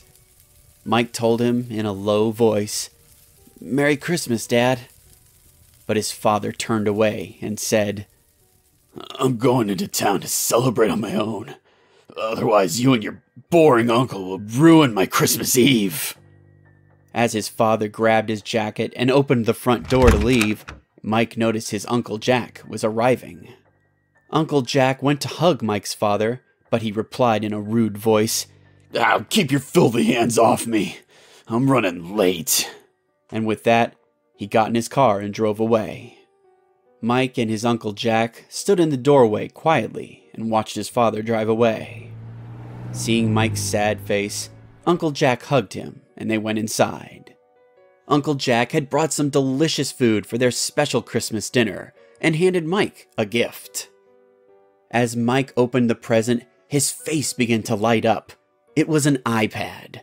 He'd always wanted one, but could never afford it. He smiled and said, Thank you, Uncle Jack. This is the best gift ever. The small house at the top of the hill blossomed in happiness and joy for one night. But who would guess that that joy would be temporary? Mike and Uncle Jack started to talk about sports and music while enjoying some roasted turkey and mashed potatoes. Uncle Jack poured himself a glass of wine and said, Now look, I just need you to be strong for two more years, Mike. Then you can come to New York and stay with me. I'll arrange for your college and everything. If your mother was still alive, you wouldn't have to face so much trouble. Alcohol has made your father a completely different person. Mike shook his head and kept eating quietly. He knew that his Uncle Jack was the only person in the world that truly cared for him. They finished their dinner and decided to watch a movie. Everything was going great when suddenly the doorbell rang. Uncle Jack went to answer the door while Mike was doing the dishes. Mike yelled from the kitchen, Who is it, Uncle Jack? The uncle replied, I don't know, kiddo. Looks like someone left you a Christmas gift on the doorstep. Mike was surprised. He looked at the clock. It was already 10 p.m. Who would leave a Christmas gift at this hour? Mike washed his hands and wiped them on his jeans. He then walked to the living room and saw a beautifully wrapped box on the dinner table. Uncle Jack gestured with his eyes and said in an excited voice, Go on, open it! The box was wrapped with silver glittering paper and tied with a red satin strip. With curious eyes, Mike unboxed the gift. There were three more boxes inside. He took out the three boxes and realized there was something in each of them. Uncle Jack was sitting on the armchair near the fireplace, but out of interest, he too came near the table. The three boxes were all different sizes. One was small, there was a middle sized one, and the third was the biggest. Mike decided to open the little box first. What happened next changed Mike's life forever. Inside the box was an object kept inside of a zipped up plastic bag. As Mike took the object out of the bag, Uncle Jack's wine glass fell to the ground and shattered. The object was a human ear. The ear appeared to be preserved for a long time as it had no blood on it. Mike couldn't believe his own eyes and was frozen in fear. As his eyes went to the other two boxes, he then noticed there was a small note inside this box. With a shaking hand, he picked up the paper and read it. It said, David Brown. Mike knew that name. David Brown was a boy from Mike's middle school. David used to bully Mike a lot. He once punched Mike so hard in the face that Mike suffered serious injuries to his nose. Shivers went down Mike's spine. Uncle Jack screamed in horror, saying, What the hell, Mike? Who's David Brown? Why did someone send you his ears a Christmas gift? Mike didn't answer his uncle and went to open the next box. He was breathing heavily. Drops of sweat appeared on his face. As he unwrapped this one, the horror grew even more. This one had a severed index finger in it. It was the finger of a woman. Even though it was preserved like the ear, it still had red fingernail polish on it. Just like the smaller box, this box too had a note inside. On the paper was another person's name, a name that Mike remembered very well. Stacy Roberts. Stacy Roberts was the owner of the house that Mike's family rented when they lived down the hill. Mike's mom loved that house, but after she passed away, they had difficulties paying rent, as most of their money went to paying for the medical bills. One morning, after Mike's mother had passed away, Stacy came to their house and told them to leave the house immediately. Mike and his father begged her to give them another week to arrange for a place to stay. but she didn't give them an ounce of kindness. As Mike went to get their things, she did an extremely cruel thing. Mike's mother had a pearl necklace, which he kept in order to remember her by. But Stacy came up to him and snatched the pearl necklace from him, saying, This will pay for your past due rent, you piece of shit! As she shoved a crying Mike out of the house. The memories flashed in front of his eyes, and he couldn't help but break into tears. Uncle Jack took Mike and made him sit on the couch. He then said, What's going on here, Mike? Please, tell me, who's doing this? Mike looked up at him and in a scared, muffled voice said, I don't know, Uncle. I have no idea. Uncle Jack turned and looked at the last box on the table, then looked back at Mike with terror in his eyes. He went over and opened the box himself. As soon as he unwrapped the box, he let out a gasp of air and took a few steps backwards in shock. Mike slowly walked towards the third box and peeked inside. There was a severed foot lying inside a zipper bag in the same manner as the rest. There was no sign of blood, and the skin was completely pale. The note inside read, Matthew Scott. He recognized the name as somebody he worked with. He was the son of the store manager. A few days ago, he had come to work and started to harass a female customer. As Mike went to stop him, he pushed Mike to the floor and kicked him in the stomach. Mike still had the bruises on his stomach, which he didn't tell anybody about. Both Mike and Uncle Jack sat quietly on the couch. They were both shaken with horror. None of them expected their Christmas Eve to take such a bizarre turn. Uncle Jack said in a terrorized voice, We should call the cops. Right now. Mike nodded his head while crying. Uncle Jack went to the table again to put all of the horrifying things inside the main box when he found a letter in it. He quickly turned towards Mike and screamed, Oh my god! What the hell is wrong with Christmas this year? Mike rushed over to him and snatched the letter from his hand to read it. The letter said, Your fourth gift will arrive soon. Mike couldn't even think anymore. He lost his calm and started crying out to Uncle Jack. Call the cops! Quick! Uncle Jack grabbed the phone and started to dial 911 with his trembling hands, and just then, the doorbell rang. Their faces froze in fear. They stared at each other blankly as a feeling of dread climbed up Mike's neck as he knew there was something even more horrible waiting outside for him. Uncle Jack froze in place like a statue and kept looking at the door. Mike walked over to the door.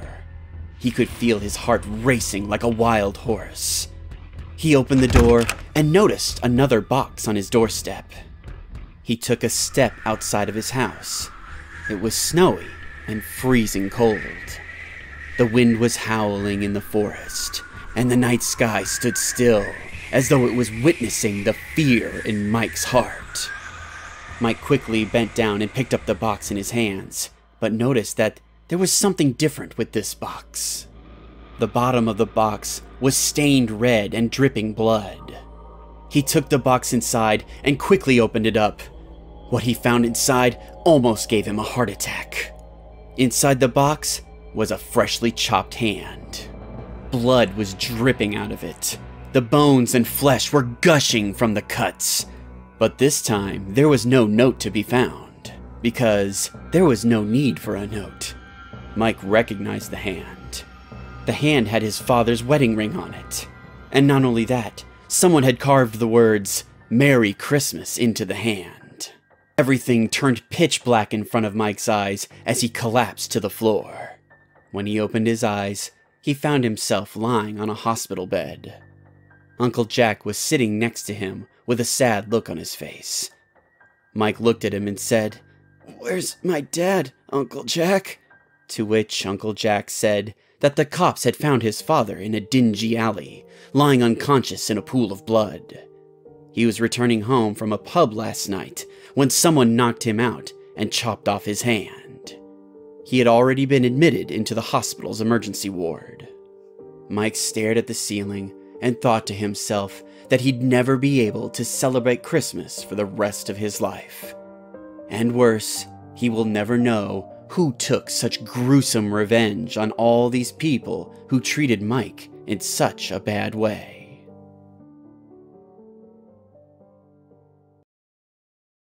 Those were my graduation years. I rented a place with one of my batchmates. The place was 10 minutes away from our college campus. I was a student of journalism, so most of our classes used to revolve around field experience. We had to cover a lot of places for reporting, taking interviews, etc. Thus, after a pretty busy and tiresome week, the weekends were our only relaxation. Saturday night, I used to dine out with my friends. We often stayed out late on weekends. The area we stayed was safe, and we never faced any trouble, no matter how late we arrived home. My mom often called saying girls shouldn't stay out so late at night, but I and my roommate knew the area so well that we had nothing to be worried about. It was winter. The trees on the street shed all the leaves, making the area look quite spooky at night. Due to the cold, there were very few people on the road after dark. The week was tiresome, as we had a bunch of projects. Hence, the following week, I was dying to go out and chill for some time with my friends. I and my roommate decided to go out Saturday night as both of us were too tired to cook at home. There was a place, two to three blocks from our campus, that served real good Chinese. We went there. There were only a handful of people in the restaurant. I was surprised to see this place less crowded. My roommate read my thoughts and said, Everyone went to see their relatives this weekend, I suppose. Also, the cold is too much for people to go out these days. I agreed with her, because even after wearing a thick leather jacket with gloves and cap, I was still shaking. We sat down at the table near the fireplace. The waiter knew us very well, so he came to us with a smile on his face and said, Having fun this weekend, girls? I smiled back and nodded my head, saying yes. We then ordered our food, and the waiter poured us two glasses of wine to warm ourselves up. Since childhood, I have been quite an observer. Wherever I go, even if I don't pay much attention, I always end up observing every little detail around me. Because of this habit, I have encountered weird things about people or places many times, but never did it bother me for life until this moment. We were chatting to pass the time until the food arrives. Needless to say, we were really hungry. My roommate was complaining, saying it takes longer for the food to arrive just when my eyes went to the corner of the restaurant. I saw a weird woman sitting at the left corner table. She was looking at the fork stand lifelessly. Her hair was all messy, clothes were damp and dusted. Her boots were filled with mud and seemed really old as they lost the shine. She looked really creepy with her wrinkled face and wide, pale eyes. She had long fingers with dirt filled nails.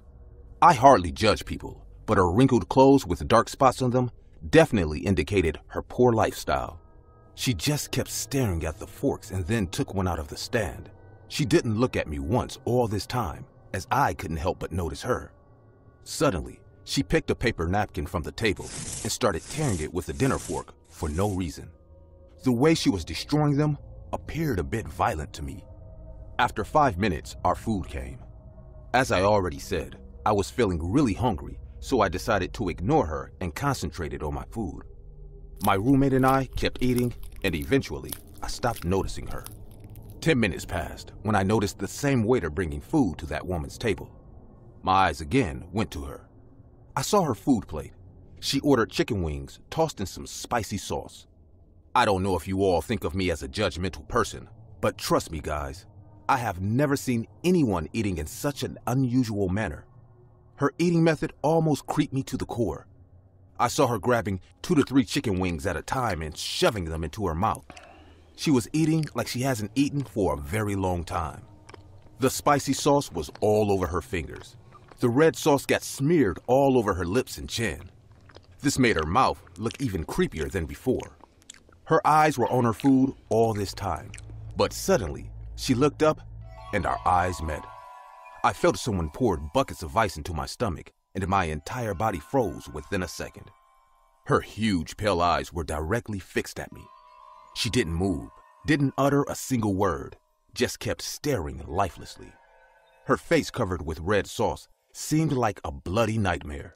My roommate sat facing her back towards the woman, which is why she couldn't see any of this happening. I was feeling really uncomfortable, so I chose not to tell my roommate about her or any of it which was happening in front of my eyes. This uncomfortable situation resided for another 10 to 15 minutes.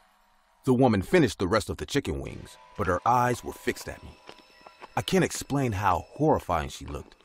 She kept eating her food, staring at me as if she was eating my soul. After she finished her meal, she wiped her dirty hands on her clothes, even though there were paper napkins present at her table. She then stood up and took out the money from her worn out handbag and left it on the table. I felt a bit relieved that she's finally going to leave and I'll never have to see her again. But only if I knew. She started to walk towards the exit. I pretended to look at my phone as if all this time I wasn't even aware of her existence. Just when she was about to pass me, she stopped right behind my back. My heart paused. Drops of sweat started to run down my spine. I could sense her presence right behind me. My roommate was busy eating while talking to her boyfriend, so she didn't notice her at all. I realized the woman was standing behind me and watching my phone. I didn't have the guts to turn around. My fingers were all numb. I was just praying to God. Please make her walk away. Make her walk away. She stood behind me for 10 to 15 seconds, then giggled in a very disturbing voice and walked away. As soon as she left the restaurant, I calmed myself down. I managed to finish my food and told my roommate we must head back to our room right now. She was surprised for a bit, seeing me panting like that, but somehow I convinced her. We reached home as fast as we could. At some point, my roommate even asked me, Why am I walking so fast? But I didn't stop for a second. Once I reached home, my roommate asked me if I was doing okay because I am behaving really weird. I dodged her questions and told her, I'm just tired. I better go to bed. I entered my room and locked the door and out of fear went to lock the windows as well. I don't know why I went to look out from my bedroom window. As I peered from my bedroom window, I saw her. She was there. She was standing in front of our house, looking right at my window. I was more than shocked and insanely terrified. I couldn't believe that she actually followed us to our house. I was out of words. She just stood there with the same lifeless stare and kept giggling. Suddenly, a sense of being alive shook me off, and I ran to my roommate's bedroom. I started banging her door as loud as I could. I cried, calling out her name. She opened the door, and I told her, There's some creepy woman standing in front of our house. She got out of the house, even though I told her not to. My roommate was brave enough, so she made a round around the property, just to be sure there weren't any mugshot or burglars stalking our house. But no trace was found of any living person all around the house. My roommate told me that the wine might have hit me a bit hard, and I have been spooked by a tree or shadow cast by a tree or something else. I knew what I saw, but I didn't argue anymore. I chose not to tell her about the incidents in the restaurant because I didn't want to freak out my roommate at that point. So we just locked all the doors and windows and went to sleep. The next morning, I told her everything, and she got scared too. We came home early after our classes for a week. Also, we didn't leave our house at night for four to five days. There was an unknown fear in our hearts for a long time. I am just glad that I never saw her again. We decided not to tell anyone about that creepy encounter, but often at night, I still wake up having nightmares of a giggling sound. Whoever you were, you weird, creepy woman, let's not meet ever again.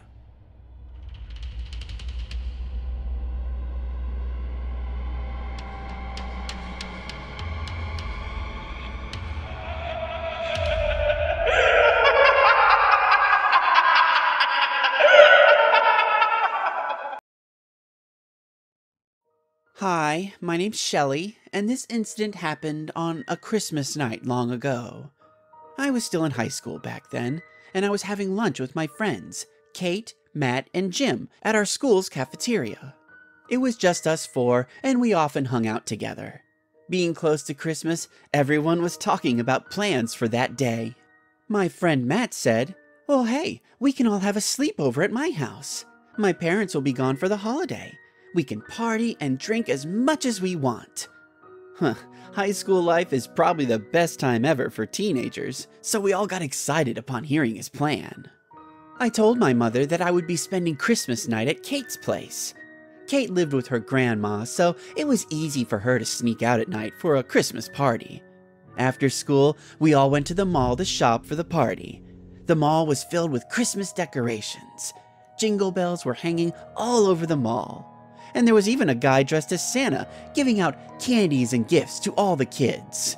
Kate and I bought some snacks and decorations and left for Matt's house. Matt's house was a pretty good distance from the mall. On our way, Jim called me and said, Hey, have you guys gotten here yet? I said, No, but we're on our way. When are you gonna get over there?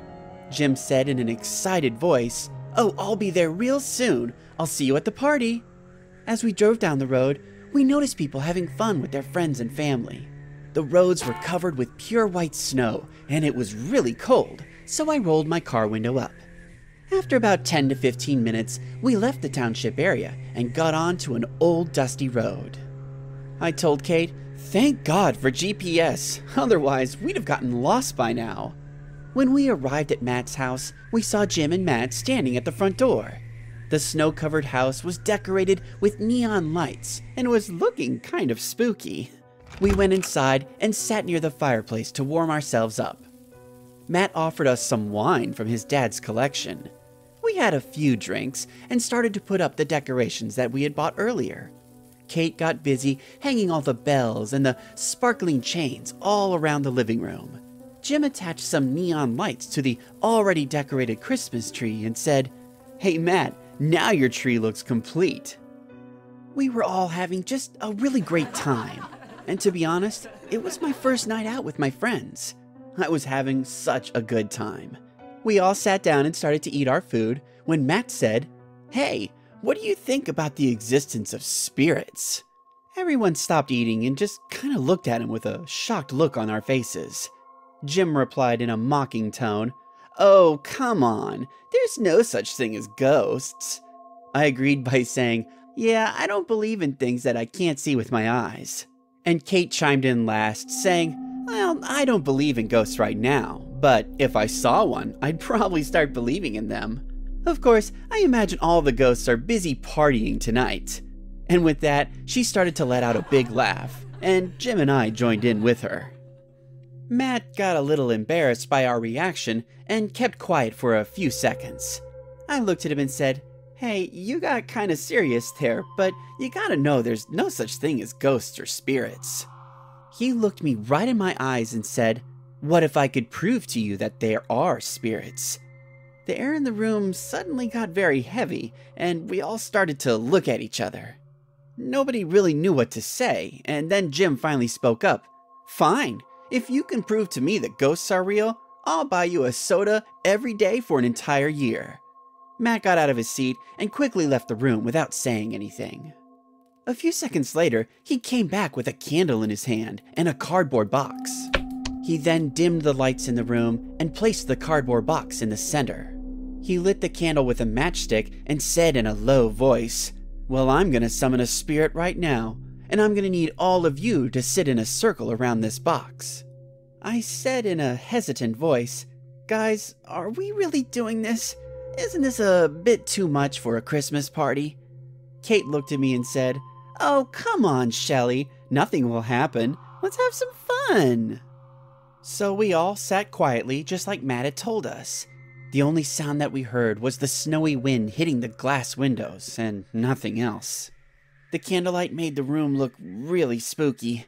Sam said in a low voice, First, we have to decide who we're going to call. We have to choose someone whom we've all seen at least once. That's when Jim said, Well, do you remember my distant cousin Tom from my last birthday? We all nodded our head in agreement, and Kate said, Yeah, that one shy boy at your birthday. I remember him. But is he dead? Jim said in a sad voice, Yeah, he kind of died from an unknown disease. I want to know what happened to him. Let's call him. I was a bit shocked to know about Jim's cousin. He was kind of a shy boy. He barely talked to us on his birthday. I started to feel a bit disturbed that we were actually doing something like this, but I kept quiet because I was kind of interested too. We closed our eyes and held each other's hands. Matt said in a deep, low voice, Tom, can you hear us? Nothing happened. So Matt spoke out again. Tom, we're calling out to you. Can you hear us? We want to know what happened to you. There was no sounds except for the sound of the wind outside and the clinking of the glass windows. Matt called out again, Tom, please hear us. We're calling for you. But before he could finish, the candle flickered twice and then went out on its own. The room turned pitch black, and suddenly we heard a heavy knock at the main door. Kate and I almost screamed, and then Matt got up and switched on the lights. Jim said in a shocking voice, Did you guys hear that? Or was it just me? We said that we had all heard it too. Then the knock happened again, but this time we heard a voice as well. Someone said in a tired voice, Jim, open the door, man. It's too cold outside. We all got scared, as we weren't expecting anyone at that time. Jim was looking even more surprised than the rest of us, and he rushed to the door. As he opened the door, we all received the shock of our lives. It was Jim's distant cousin, Tom. Jim said in a gasping voice, What the hell are you doing here? Tom gave us a creepy smile and said, I came to your house to visit you for Christmas, but your mom said you were staying at Matt's, so I came here. Merry Christmas, guys! Kate got really angry and said in a loud voice, You jerk! I can't believe you lied to us like that, Jim! I hope you burn in hell, God damn it! Matt and I also hurled insults at Jim for lying to us about Tom's death. Jim laughed like an idiot and said, Sorry, guys, but it's like I told you. There's no such thing as ghosts. See? And we all sat down to have another drink. Tom sat right beside us and told us about Jim's silly prank. He laughed and then said something which I thought sounded rather odd. Tom said in a deep voice, Well, you would never know if you came face to face with a ghost. I also didn't believe like you guys, but I do now. My other friends didn't really pay much attention to what he said, and they all started to laugh about the entire situation. I, on the other hand, was feeling very mysterious about Tom's arrival. I looked him over from head to toe.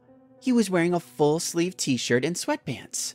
It was so freezing cold outside. How could he have managed to come here just wearing that? Also, I didn't hear the sound of a car driving in. Jim's house was at least 20 minutes away from here, so there's no way anyone could walk that distance wearing just a t shirt and sweatpants. We all knew that Tom was a really shy guy, but the way he kept smiling with the others seemed really odd to me. His behavior was completely different.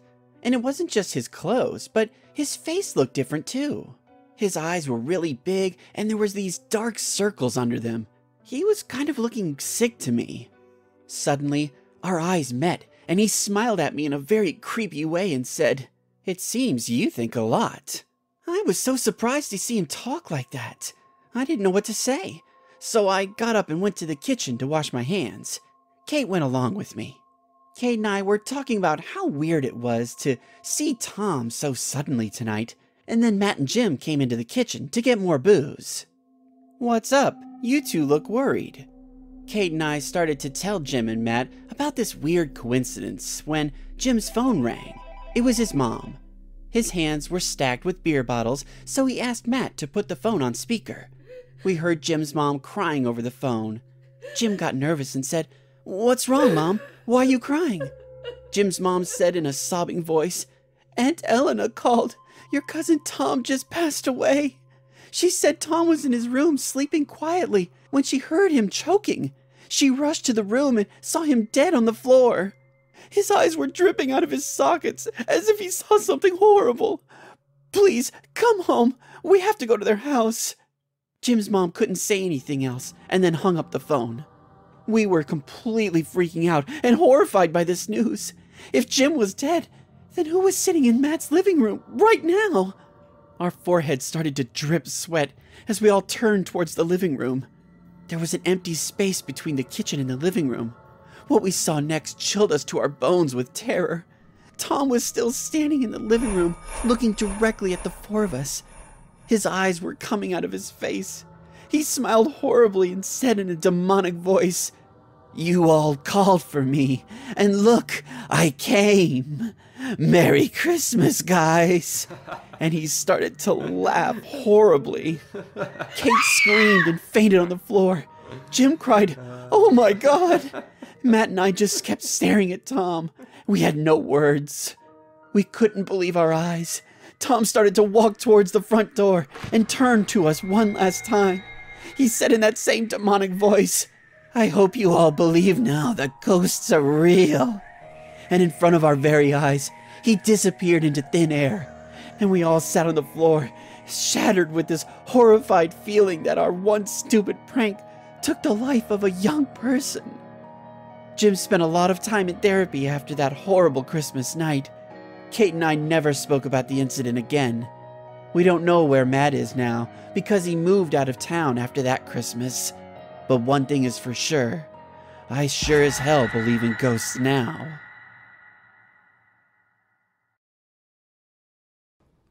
I know you won't believe me, but as Thanksgiving and New Year is knocking on the door, this memory is haunting my mind all the time. I have kept it inside for a long time. Only my family knows about this incident. One Thanksgiving, my mom took me to my grandparents' house. It was our first Thanksgiving after my dad passed away. My grandparents stayed in Canada. It was a much needed break. My mom and I were looking forward to a trip for a really long time. As we drove past the hills, the view refreshed my mind. The tall hills covered with white snow and pine trees relaxed me a bit. I looked at my mom and asked, How long will it take, mom? She smiled while driving the car and said, I know, Jenny, that you are excited to meet your grandparents, but it will still take an hour or so. My mom was right. I have never felt so much loved by anyone in this world than my grandma and grandpa. They came to visit us many times, but this is the first time I was going to visit them. We reached in the afternoon. It was a two storied wooden house with a beautiful garden. The garden was covered with snow, but the colorful orchards amazed my eyes. As I got down from the car, I saw Grandma standing on the door, smiling at me. I could see tears in her eyes. I ran to her and hugged her. She hugged me back and caressed my cheek, saying, Oh, my Jenny, we missed you so much. My grandpa came laughing and hugged my mom. We got inside. I sat down and my grandma offered me a cup of hot chocolate. The house was decorated with lights and shining Christmas bells and stars. I said in a curious voice, So, this is the house where my mom grew up, huh? Trust me, mom, your house is so much better than mine. Everyone started laughing. My mom was walking all over the house, staring at it with bright eyes.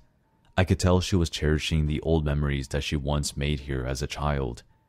My grandpa asked me in a happy voice, What is your plan for Christmas, Jenny? I shrugged my shoulders, saying, I haven't decided yet. My grandpa then said, If you want, you can stay with us till Christmas. We are really happy to have you at Thanksgiving, dear. I know after your father's death, things have been tough for you, but you should know we are here for you, always. I smiled and said, I know, Grandpa. My mom said from the kitchen, Jenny, take your bags to your room. I took my bags to my room. My room was on the left side of the second floor. It has a big glass window facing the backside of the garden.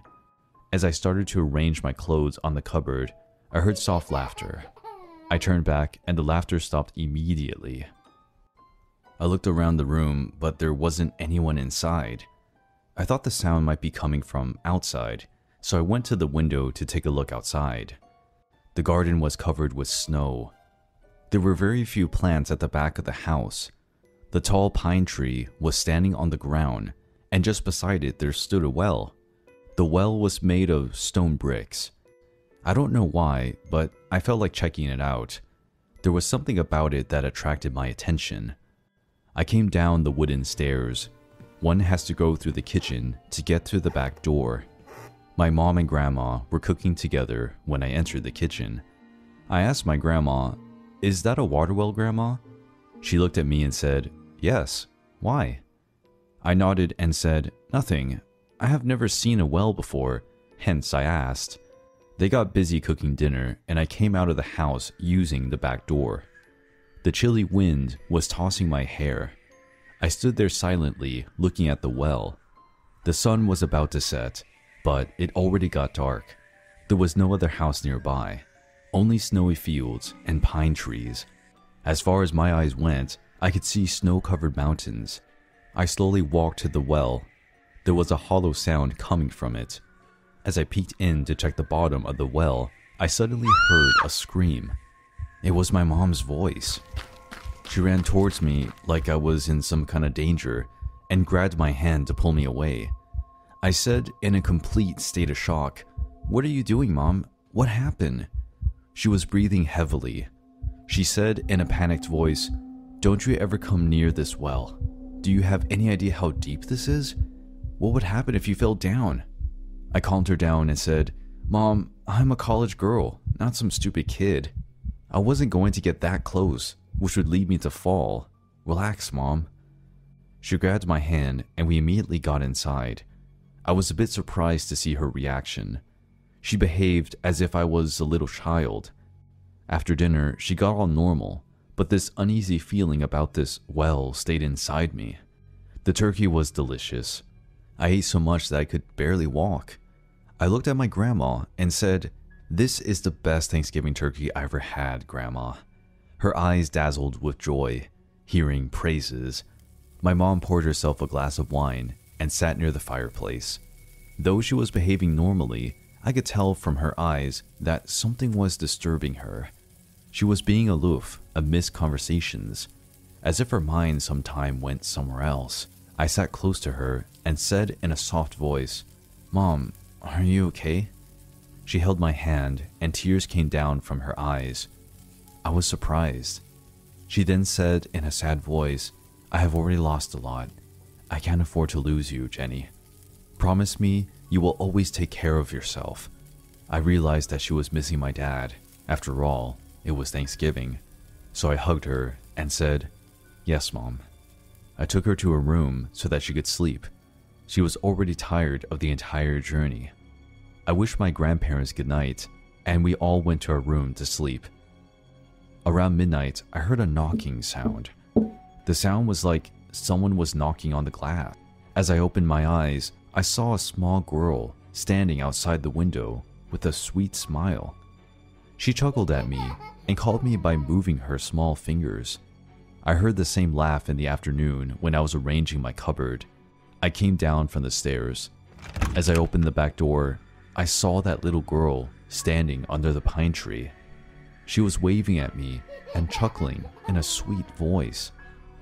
I said, standing at the door, Hey, you should not be roaming around late nights in the snow. You'll get sick.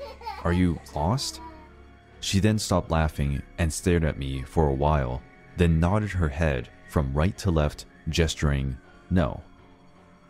I again said, Then why are you out so late? Where do you stay? She again stared at me and looked at the well. I couldn't understand what she was trying to say. I started walking towards her as she stood under the tree. Her clothes were filled with muddy prints and torn out at some places. I was really shocked to see her in this shivering cold, wearing nothing but this worn out dress. I was only five hands away from her when she again looked up at the house. Out of curiosity, I followed her eyes and saw my bedroom window. A cold shiver went down my spine. I recalled seeing this girl knocking on my bedroom window. But this is a two storied house. How the hell a tiny girl like her can climb such heights without any help? I slowly turned towards the pine tree and saw that the girl wasn't there. As I shifted my eyes on the right, I saw that girl standing on the edge of the well. She looked at me with the same blank expression. Her eyes were wide and her pupils were so small, almost like a dot. She then smiled and jumped into the well within a blink. I screamed in horror. My mom and grandparents rushed immediately, hearing my scream. I started to sob terribly. They took me inside and gave me a glass of water. After drinking the water, I was finally able to speak. I told them everything I saw. I looked at my mom and said, Mom, we need to save that girl. But her face looked pale. She was more scared than worried after hearing all these. She busted into tears, saying, I shouldn't have brought you here, Jenny. I thought maybe after all these years she would have finally left, but I was so wrong. I wasn't understanding a single word coming out of her mouth. I said in a panicked voice, What do you mean, Mom? Do you know this girl? Will anyone fucking tell me what's going on here? My grandparents made me calm down and explain to me what really happened. I still get goosebumps when I think about what they told me. My mom was 16 years old when she got pregnant with her high school boyfriend. She gave birth to a beautiful little girl in my room, Though the guy broke up with her for not being able to handle such a situation, my mom decided to raise her daughter by herself. On one Thanksgiving night, when the girl was just two years old, came out of the house. It was snowing outside, and she got busy catching snowflakes falling from the sky. Out of excitement, she carelessly got near the well and slipped. She died falling in that well. My grandparents couldn't find her body, as the well is too deep to search. Since then, Every Thanksgiving night, she comes to visit this house. Since then, my mom never came to this house. This time she thought things might get different, but it didn't. My grandparents sold that house and moved to a new house after that incident, but my mom still doesn't go out at Thanksgiving. It aches my heart too, knowing that I lost my sister even before I could know her.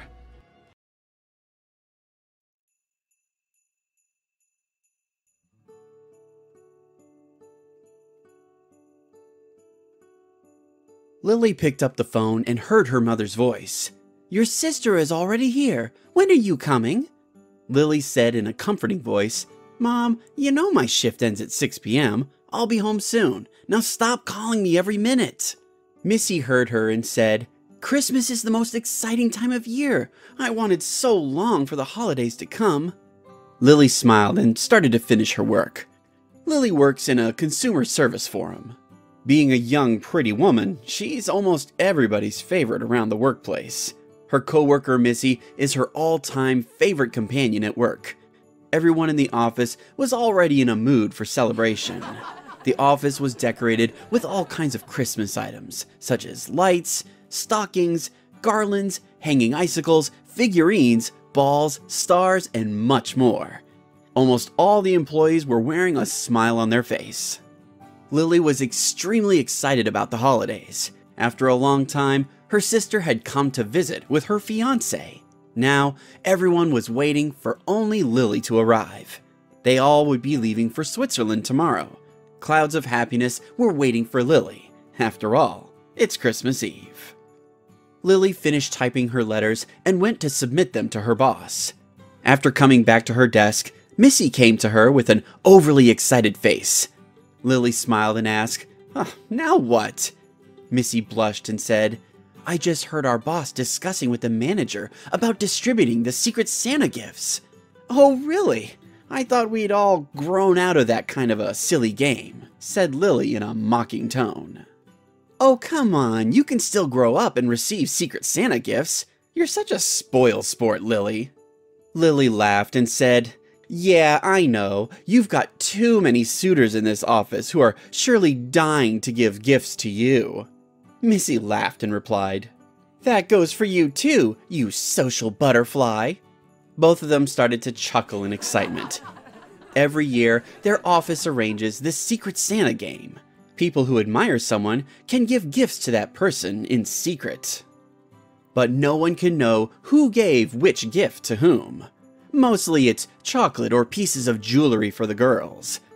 Lily always gets them every Christmas. This year, it will be the same too.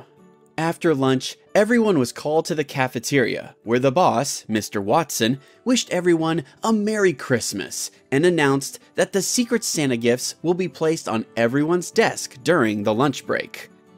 After returning from lunch, every employee will find their Christmas gifts on their desk. Missy and Lily went to get their lunch and discuss their holiday plans. Around 3:30, everyone had gotten back from lunch. It was the last day before the Christmas holidays, so the work pressure was quite a bit less. Generally, Lily happened to work till around 8 o'clock at night. As Lily reached her desk, she saw five or six gift boxes. Everyone was unboxing their gifts and wishing each other a Merry Christmas.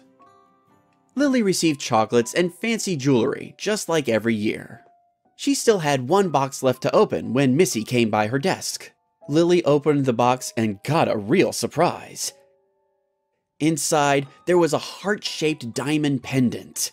Missy said with dazzling eyes, Wow, that's a little expensive for a Secret Santa gift. Someone must have a serious crush on you, Lily. And she started to laugh in that same old way. Lily held the pendant in her hand and said in a worried voice, I don't know if I should take it or not. This is really expensive. Who would buy such a gift for me? Missy peeked inside the gift box and said, Look, there's a note inside it. Lily took the note and read it. Would you like to have dinner with me for Christmas? Lily started to blush like a teenager. Missy constantly pulled her leg. She had to admit she was enjoying the attention. Hence, Lily said in an excited voice, If I knew who my secret Santa is, I would surely cancel all my plans just to have dinner with him. Missy and Lily started to laugh again. As time passed, everyone started to leave the office. People were finishing up their work as soon as they could and leaving for the holidays. Around 5:30, Missy came to bid goodbye to Lily. She wished her a happy holidays and left. The office was almost empty. Lily was almost done with all her work. There were just a few basic formalities left before she left for the holidays. She wrapped her things up and went to get a soda from the cafeteria before leaving. Just as she inserted her dollar bill and pressed the button on the soda machine, the entire office lost power. Oh god, not today! She turned on the flashlight on her phone and rushed to her desk. The entire area was empty. There was no one else on the office floor.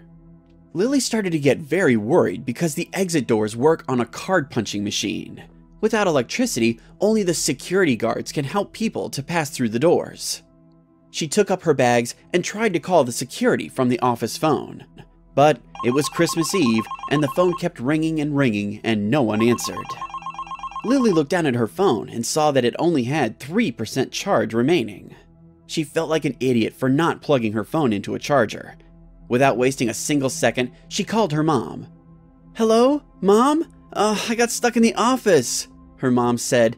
But you said you'd be done by 6, Lily, her mom replied in an angry tone. No, not because of work. There's been a power outage. I need you to call 911 for me. But before she could finish her sentence, she noticed that her call got disconnected. Lily thought to herself that now her mom will think she got stuck at work. What a great way to start the holidays. Lily had no idea what she could do. But suddenly, she thought of a plan. The maintenance department was kept downstairs. Someone would surely still be there. Without any delay, Lily ran down the stairs. The maintenance department was equally dark, just like upstairs. She couldn't see anything except the long empty passage lying ahead of her. Lily was just about to start crying when she saw a flashlight coming towards her. She almost screamed in relief. Hey! Oh, thank God! A man came up to her with a flashlight. Lily had seen this guy earlier. He had only recently joined the workplace, but she had never talked to him. The guy was wearing glasses. He was a man of average height and had a simple face. He smiled in a shy manner and said, Oh, I'm sorry if I've scared you. Actually, I was just about to leave when the power cut off, so I thought I'd check upstairs in case someone was still stuck there. Lily smiled and replied, I'm just so relieved to see you. I thought I'd gotten stuck all alone inside this office when the power was out. The guy smiled and said, Well, it's really lonely to be lonely. Lily nodded her head, hearing such a weird thing, and said, I think we should call 911 because I think the office security people have left too. The guy said hesitantly, Yes, I was just about to call them. By the way, I'm Alan. If you want to, we can wait this out in my cabin. I've lit some candles there. Lily started to walk with Alan to his cabin, and then she asked him, So, what are your plans for this holiday? To which Alan replied, Right now, I'm just hoping to have dinner. As Lily stepped inside Alan's cabin, she got a surprise. There were two candles on his desk, and his cabin was nicely decorated too. Lily said in an impressive tone, Wow, you did some good decorating. This cabin is so romantic. She noticed Alan get a bit shy. They both sat down, and Alan offered her some water.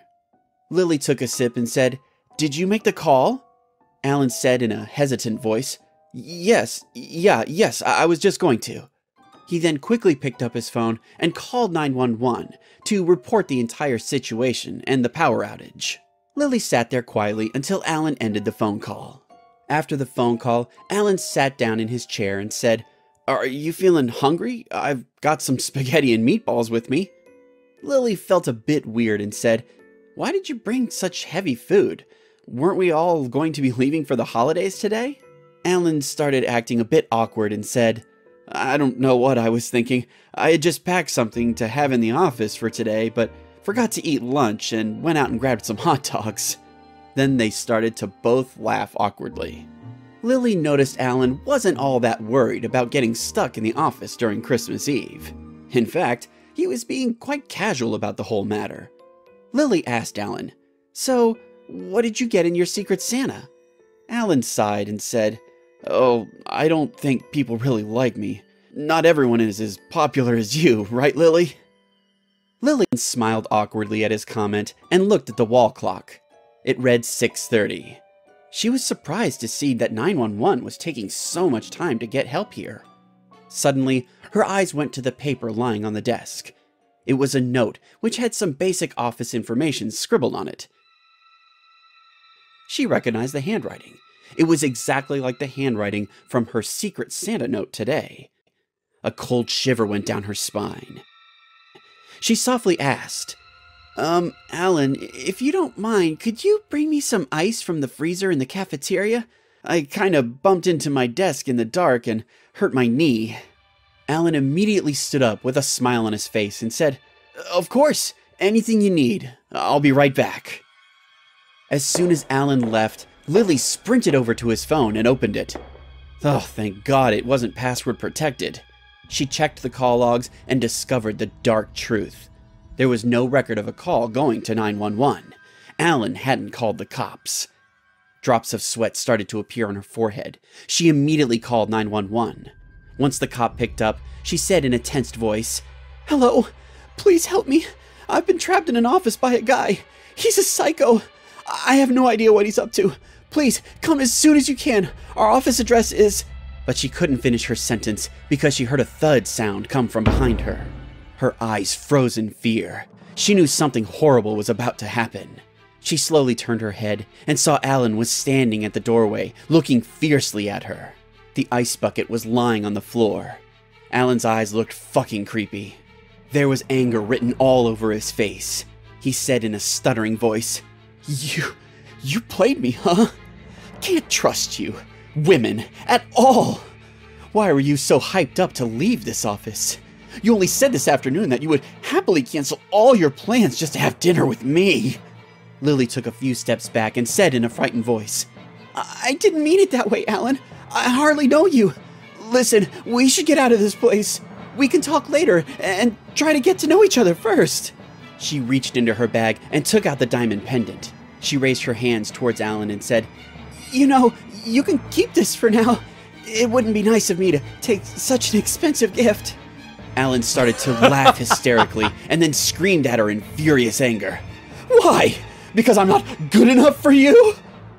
Lily was in tears. Her hands were shaking. She couldn't move her legs. Alan started to walk like a maniac and growl and scream. Ah! He kicked the glass door of his cabin so hard that the glass shattered with a loud noise. There was broken glass all over the floor. Lily screamed in fear and sat in the corner of the room. Alan looked at her and said in a spine chilling voice, You know, I can give you so much more than this stupid pendant. I can give you the best Christmas gift in the world. You want me to show you how much you matter to me, right? Fine then. What Alan did next was completely unexpected. Lily didn't see it coming at all.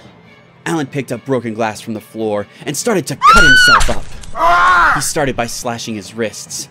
Blood was pouring like a fountain onto the white floor. Lily kept screaming, seeing such a vicious sight. Then Alan brought out the ultimate horror that would curse Lily for the rest of her life. He steadied his eyes and stared directly at her and said, I loved you from the first day I saw you, Lily. I hoped that you would like me too, but I was never enough for anyone. Then he took the glass and sliced his throat in front of her. Lily screamed in horror and fainted to the floor. Worried about her not returning home, Lily's mother had called 911. When the cops came, they discovered Lily lying unconscious on the floor and Alan lying dead in a pool of his own blood.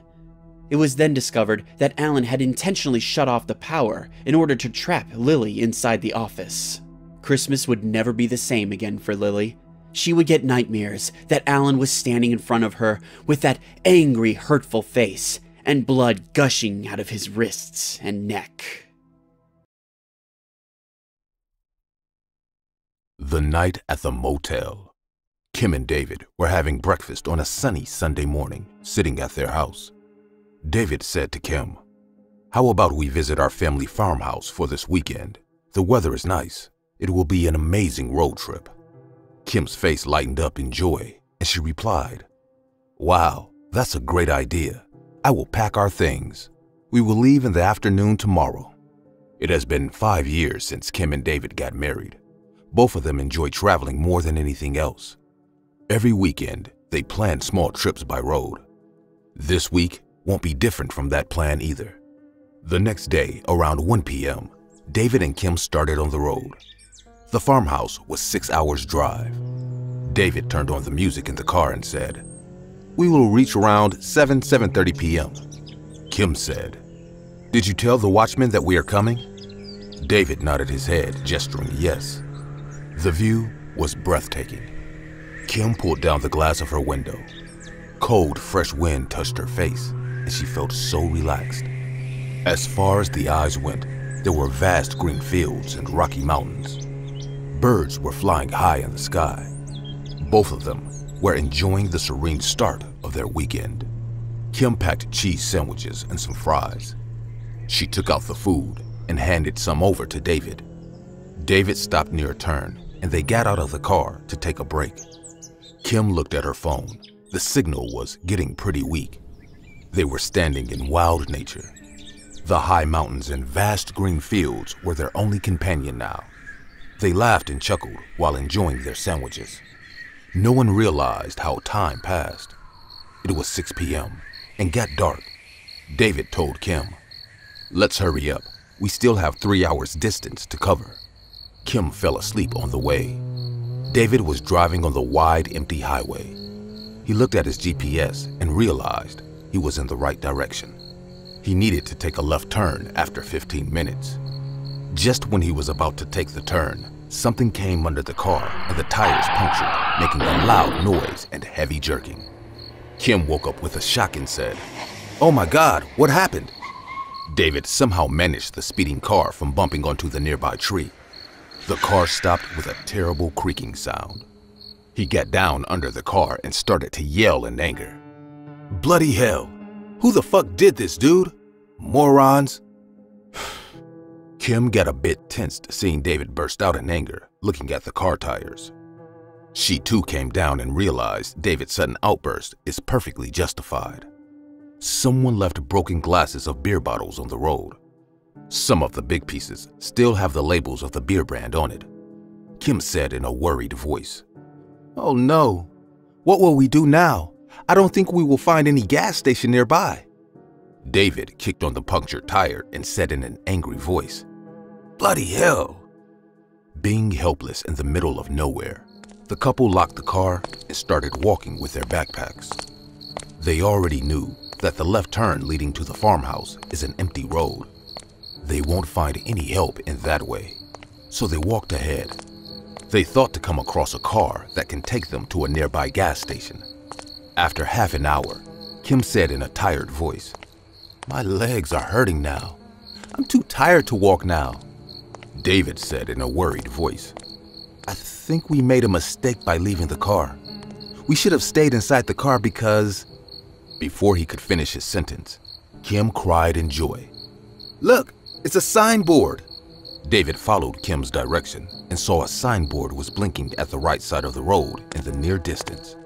They started to walk faster. It was a roadside motel. Small cabins were lying on a wooden deck. A small hut stood on the left side. The door was opened. The interior seemed like a counter. There was no one there. There was a room behind the counter. The door was closed. David said in a hesitant tone, Anyone here? Anybody? Kim looked around and said, I think the owner is asleep in that room. Should we wake him up? David walked past the counter. He was about to twist the doorknob just when someone spoke in a spine chilling soft voice. Looking for a night shelter, guys? Kim and David turned towards the exit quickly and saw an average height man standing at the doorway. The man had messy hair and a creepy face. His eyes were excessively bright and wide. He smiled mysteriously and said, That's my room. I can let you stay there, you know, and started to laugh in a broken voice. David came to the other side of the counter and stood beside Kim. The man went to the counter and kept staring at them with his wide eyes. Kim said, We would like a room for the night. Our car got punctured. The man took out a rusty keychain and said, That's sad to hear. Room 101 for you. There's no food available here, but you can get snacks and drinks from the machines at the end of the deck. Kim took the keys and walked away. David asked, How much for one night? The man replied, Ten dollars, but you can pay later as well. David was in no mood to extend the conversation with this guy, so he left a $10 bill on the counter and left. Room 101 had a double bed, a small table at the right side corner of the bed, two chairs, and a really big mirror on the wall. The bathroom also had a mirror. Kim got all freshened up, but she couldn't shake off the feeling that there is something really weird here. The couple was very tired from the exhaustion of the entire day, so they fell asleep quickly. Around midnight, Kim heard a beeping sound coming from the room somewhere and woke up. She got up and started to look for the sound. David was sleeping like a dead person, so he didn't realize any of this. After searching for a few seconds, Kim realized that the sound was coming from the wall. She walked close to the wall and found out that the sound was actually coming behind the mirror. She went to turn on the light, just when she noticed a small red light blinking behind the mirror. The light was visible only because of the darkness in the room. Kim pushed the mirror and she realized it is just hanging from that wall. Next, what happened gave a terrible shock to her. She took off the mirror and saw there's a small camera hidden inside a hole in the wall. The moment she understood they were being watched all this time, she rushed to the bed and woke David up. Wake up, David. We can't stay here. We have to leave. She started to panic. David woke up and listened to the entire matter for him. Someone hit this camera in the wall, and the battery of this camera went dead, which is why it made a beeping sound. David got angry as hell and rushed towards the counter. The man was not there. Kim kept yelling, Please just leave. Let's go now. David didn't listen to her and bolted into the room next to the counter. As he opened the door, his eyes got transfixed in fear. The room was like a large concrete dungeon. There were huge glass tubes filled with some boiling liquid inside it. But that's not the only thing they saw in that room. Inside each glass tube, there was a dead body.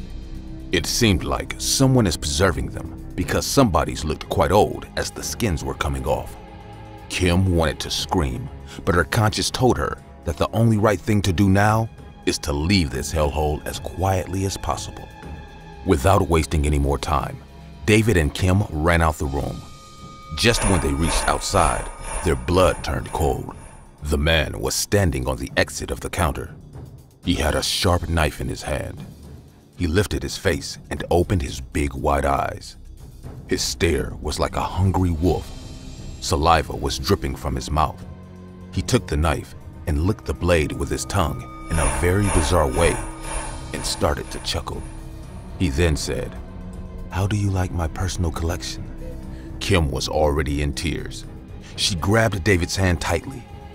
David was afraid too, but he said in a loud voice, You're one sick psycho. Once we get out of here, the cops will show you your right place, you maniac. The man laughed again and said, But first, you have to get out of here. And that too, alive. What happened next happened so quick that Kim still remembers it in fragments. The man came onto David with his long, sharp knife. But David was already prepared for such a moment. He knocked the man out with a strong punch to his face. Blood spattered from his mouth and he fell on the floor, unconscious. David took the man up and locked him inside room 101. They called 911 with the phone on the counter. After an hour, two cops arrived, and the entire matter shocked the hell out of them too. They arrested the man and discovered a bunch of horrifying information. The man was a psycho killer. He used to trap cars on the highway by deliberately placing broken beer bottles on the road. After being helpless in the middle of nowhere, many travelers came to his motel asking for a one-night stay. He placed a secret camera behind the room mirrors to keep an eye on them. When they finally fell deeply asleep, he used to sneak into their room and stab them to death. The man had the same plan for David and Kim too. That's why he went to sharpen his knife after seeing them asleep from the secret camera. Thankfully, the camera ran out of battery and Kim woke up at the right moment. For at least two to three months, Kim remained terrified about spending nights at unknown motels during vacation. David still checks out the mirrors and every nook and corner of hotel rooms whenever they go on vacation. The memories of this incident are very fresh as it happened last week. Winter is the season of relaxing ourselves at home. But this year's winter gave me a really hard time at the very beginning of it. I stay in Montana on my own. It's been almost five years now I have moved out and made a life for myself. Due to the winter season, most people in my neighborhood were either out for holidays or went to visit their families. I also planned to visit my parents, but due to the unavailability of flights, I couldn't. My plan for this Christmas was to eat junk food watch movies, and drink wine as much as possible. But this sudden incident from last week has turned my world upside down. It was a cold winter evening. I opened my door to look out. The whole locality was covered in snow. Streetlights were glowing in the dark. There wasn't a single person on the streets. I got a bit upset about being alone. Just then, I received a call from my dad. He said, All good, Kim? I know you are upset. Your mother and I are going to visit you soon. His words put a smile on my face, and I replied, How did you know I was feeling upset? My dad smiled and said in a caring tone, That's what dads do, my dear. I talked to them for a while, then hung up the phone and went to the kitchen to prepare dinner. Around 9 p.m., I was eating my dinner sitting at my dining table. Now, the table is placed near a glass window. I always prefer this spot for eating or working. The entire view of the street and houses nearby are visible from this window. While I was eating, I saw the snowfall had started. It was a pretty sight to watch. I was enjoying the view outside when suddenly my doorbell rang. I wasn't expecting anyone at this hour. I stood up slowly and walked to the main door. As I peeped from the eye hole, I saw a man wearing a black hoodie standing outside. I asked, Hey, who are you? The man took off his hoodie and said with a big smile, Here's your food, ma'am. He then lifted up his right hand. There was a brown paper bag like those takeaway packaging. Without opening the door, I replied in a confused tone, But I didn't order any food. You must have come to the wrong address. The man looked at his phone and said, this is 22 CR Avenue, right? I replied, Yes, the street is right, but what is the house number? The man now scratched his head and said, Um, they told me the house on the right. Your house is the only house nearby with its lights on, so I guessed this is the one. The man was of average height but very bony. I could spot his facial bones underneath his skinny face. His eyes were extremely big and bright. He didn't seem like a delivery guy. I asked him, Which restaurant are you coming from? Suddenly, he seemed all confused, and I could tell from the pause that he was lying. He fumbled and said, Well, I'm from. Can you just please open the door and check for yourself? I have the complete bill on my phone. Now, my suspicion grew even more. Why couldn't he just say the name of the restaurant, unless he is lying about this entire food delivery thing? I said in a strict voice, Look, I am telling you, I didn't order any food. Please just leave now. The man gave a cold look and lifted up his hoodie and left. I came back to the table. The entire awkward encounter made me quite uncomfortable. I couldn't help but think, was he really a delivery guy? Or was he just making it all up?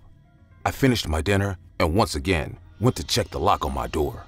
I was just setting the alarm standing near the door when someone knocked. I got close and looked at the eye hole. It was that same guy. I said in an irritated voice, What are you doing here? I already said this is not the house you were looking for. The man replied in a hesitant voice, Sorry to bother you, ma'am, but my bike is not starting. I tried calling the food station, my phone battery is dead too. Can I please come in and use your phone? The entire street was empty, and there was no way I was letting this guy inside.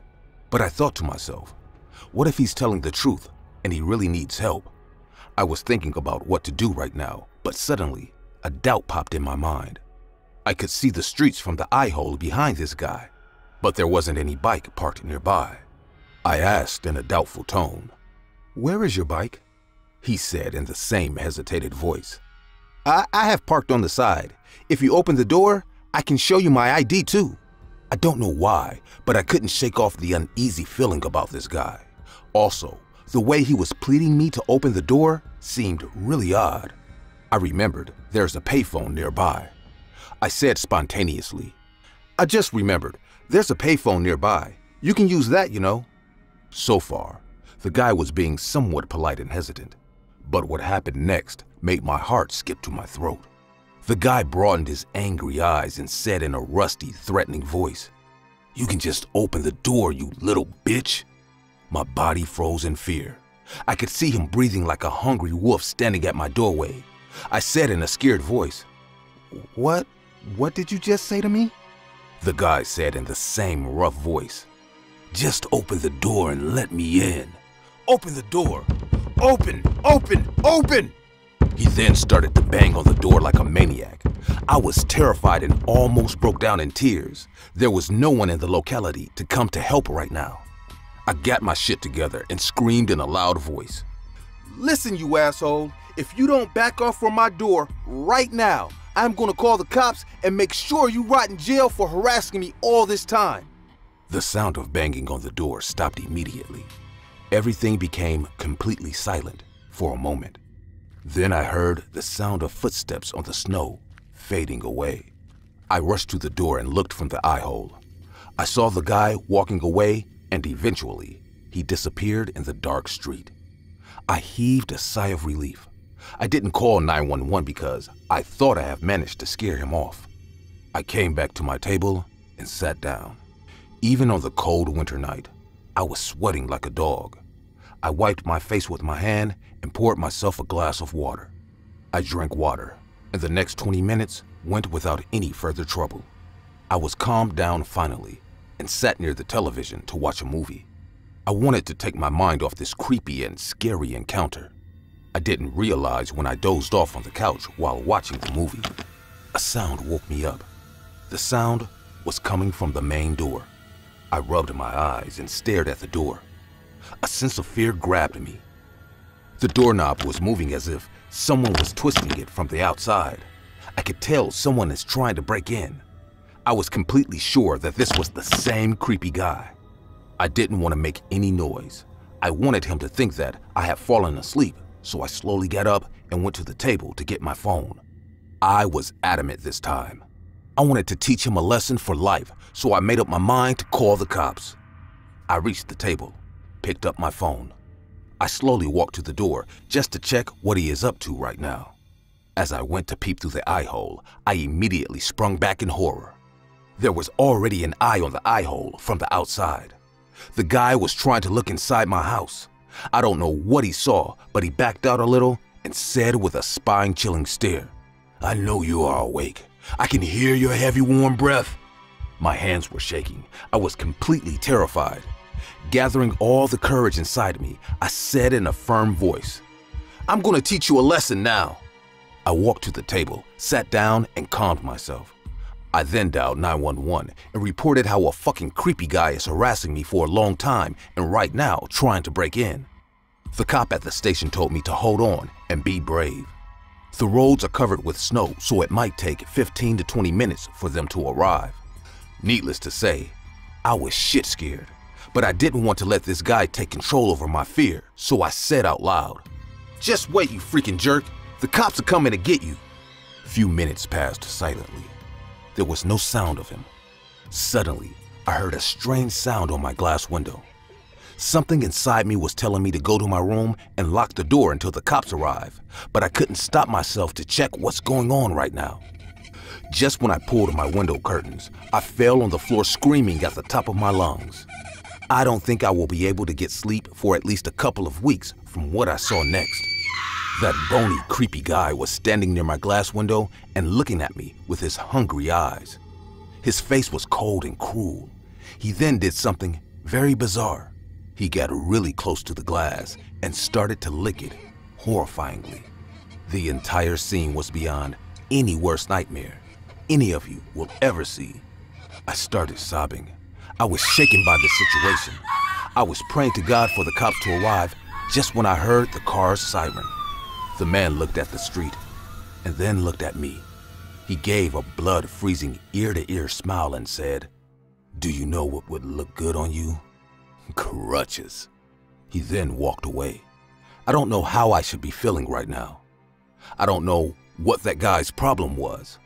I just know he is a filth walking over the society, making women feel miserable and unsafe. The cops searched the area and obviously couldn't find any trace of him. I am now staying at one of my colleagues' house. My parents are coming tomorrow to get me. I don't know if I will ever be able to go back to my house. Even if I do, sitting at my favorite spot will be my biggest nightmare. Two years ago, when I was 15, my parents decided to go visit my uncle. I didn't want to go. I wanted to stay home and hang out with my best friend Alex. Since we live in a quiet neighborhood and there was little crime happening here, my parents allowed me to stay home and have Alex come over. My mom left me a note on the fridge with all emergency numbers, and my dad told me to call him if anything happens. I assured them that everything is going to be fine. Me and Alex were just going to play video games and have some pizza later. They both hugged me and left. I called Alex and he came to my house 15 minutes later. We played UFC on my PS4 for two hours and then had some pizza. After our meal, we just sat in my living room talking about random stuff. Eventually, we started talking about girls. We both had crushes on some older girls, but the girls didn't even know we existed. Alex mentioned a website where you could talk to random people called Omegle. He also said that he talked to some girls there. So we decided to go on Omegle and try our luck. The first 30 minutes, we didn't get matched with any girls, so we started to get bored. And just when I moved my mouse to exit the site, two girls showed up on our screen. They were about our age, maybe a little older. We started talking to them, but they were just typing. We could see that they were talking, but we couldn't hear them. We told them to turn on their microphone, but the girls said that they don't have a microphone. We continued talking to them. We said that we were home alone, and so were they. They said that they lived in the same city and the same area as Alex and I, but we never saw them. After 15 more minutes, they said that we were cute and that we should hang out sometime. We were stunned. Girls usually didn't want to hang out with us, so Alex gave them his Snapchat username. As soon as he typed his username, the girls disconnected. We were really bummed out. We didn't even get their names, so we just turned off my laptop and went back on the PS4 to play some video games. Some time passed. We were still playing video games when Alex took out his phone. He just received a snap message from someone called Anna XOXO99. He opened it and it was a picture of the two girls we met on Omegle earlier. They were walking on the street and the caption said, Can we come over and hang out? Alex immediately looked at me. He didn't ask me anything. I already knew what he wanted and I said no. They can't come to my house. He wasn't happy about this, but I said no every time he tried to make me let them come over. Alex texted them saying that they can't come and that we should hang out some other time. A couple minutes later, the girls responded, Can we meet at the park then? Alex asked me if I wanted to go to the park. It was only 10 minutes of walking from my house. And I said no. He called me a pussy and said that he was going with or without me. Maybe he was right. Maybe I am a pussy. Am I going to pass on an opportunity like this? I looked at my watch. It was 10:30 p.m. So it wasn't that late, and my dad's friend lives right next to the park. So I thought it was okay. But if anything seemed strange, we would immediately go back to my place. Alex agreed. He sent the girls a snap saying that we were on our way to the park. They replayed the snap from Alex that we should meet and told us that they were waiting for us in the children's playground. We got out of my house and we started walking to the park. The whole walk there, I was thinking, what if something goes wrong? We don't even know these girls, and what if someone else was at the park with them? I didn't want to say anything to Alex because he would probably say that I was a pussy and that I'm paranoid, so I kept my thoughts to myself. After 10 minutes of walking, we got to the park. The children's playground was a little deep in the park, so I asked Alex to ask them to come to the main entrance of the park because we were already there. Alex just said, Dude, come on and texted them that we are in the park. A minute or so, we arrived at the playground. There was no one there. I asked Alex if they responded to our last snap, and he said no, they just left it on read. We waited there for a couple of minutes, but there was no sign of the girls. We were all alone in the park. I told Alex that they probably were just messing with us and that we should go home but Alex wanted to stay a couple of minutes more. A minute passed, and we heard someone walking behind us. We turned around, and there was a guy dressed in black, standing behind a tree, looking at us, and he had a creepy smile on his face. I said to Alex that we should go home and that this wasn't a good idea. Alex agreed, and we started walking back home. The whole time, I was looking over my shoulder trying to see if the man was following us, and he was. So I said to Alex to step up. Just when we got to the park's entrance, the guy grabbed my hand and started screaming in some insane way. I was screaming and kicking, trying to get him to let go of my hand. I was calling Alex to help me, but he ran away. The guy started pulling me back into the park. I was screaming as loud as I could, and that was when I saw blue and red lights. The guy must have seen them too because he immediately let go of my hand and ran deeper into the park. I started running back to the direction of my house when a police officer stopped me. I explained everything to him, and he called my parents. The police officer took me to the police station to wait for my parents to pick me up. My parents came after one hour, and the police told them what happened, and so did I. My dad asked them, did they catch the guy from the park? And they said they were still looking for him. When we got home, my parents were glad that nothing serious happened, but they were still mad because I left the house to meet some girls I was talking to online. They told us to go to sleep and that everything will be alright. The next day, Alex came to my house with his dad and he apologized for running away last night. He also said that when he got home, he opened his Snapchat and there was no sign of Anna XOXO99, and it was like she never existed.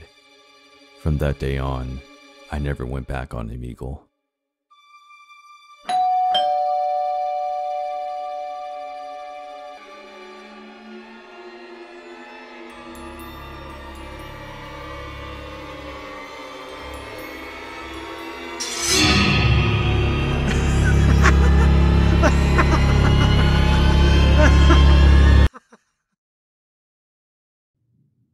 Cherry and her little brother were running excitedly around the house because it was Christmas morning.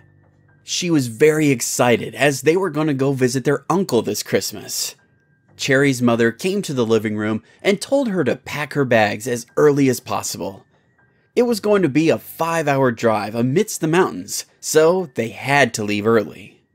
Cherry's brother Bob was always throwing tantrums. She went over to him and said, You must hurry up, or Mum will be very angry with us. I'm so excited to meet Auntie and Uncle. Auntie Helena said she's going to make chocolate custard for Christmas tonight. Bob made a funny face and said, I'll eat all the custard and you'll get nothing. Cherry started to scream and said, Oh, shut up. Their mother, Kathy, said from the bedroom, Oh, stop it, you two. We're already running late. John put the luggage in his car trunk and said, Kathy, hurry up. We have to leave now, or it'll be dark before we reach your brother's house. Cherry feels like Christmas is her most favorite time of the year. So they all hopped in their car and started their journey. As they were driving among the mountains and pine trees, as far as their eyes went, they could see white snow covering nature all around them. Bob was busy playing with his Santa and elf toys. Suddenly, Cherry asked him, What do you want for Christmas this year? Bob replied, I've asked for a gumball machine and a huge house made of candies and cream biscuits. Everyone started to laugh upon hearing his childish Christmas wishes.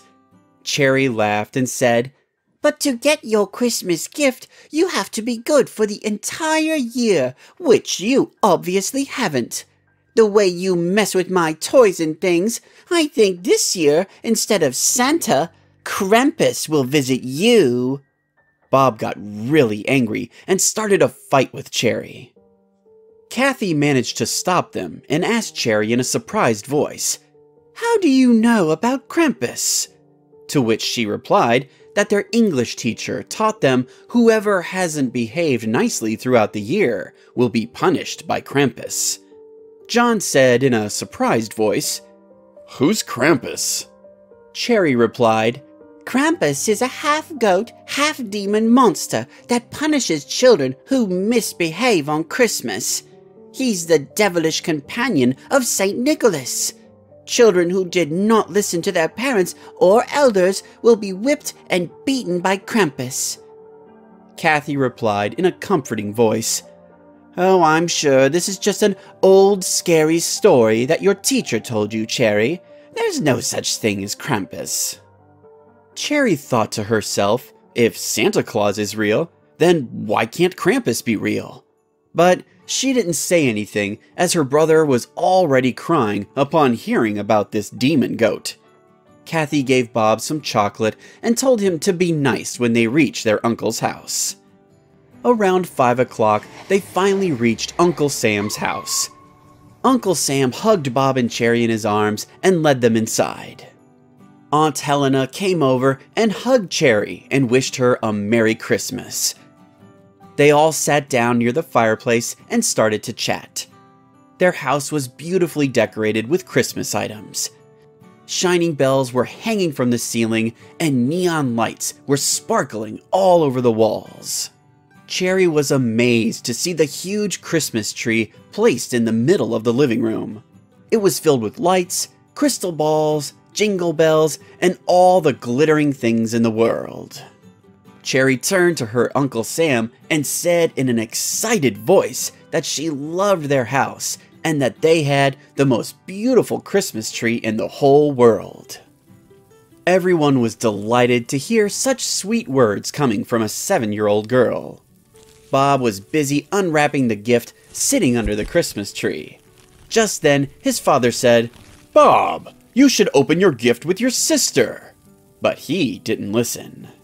As the night went on, the celebrations grew even more. The table was filled with delicious dishes.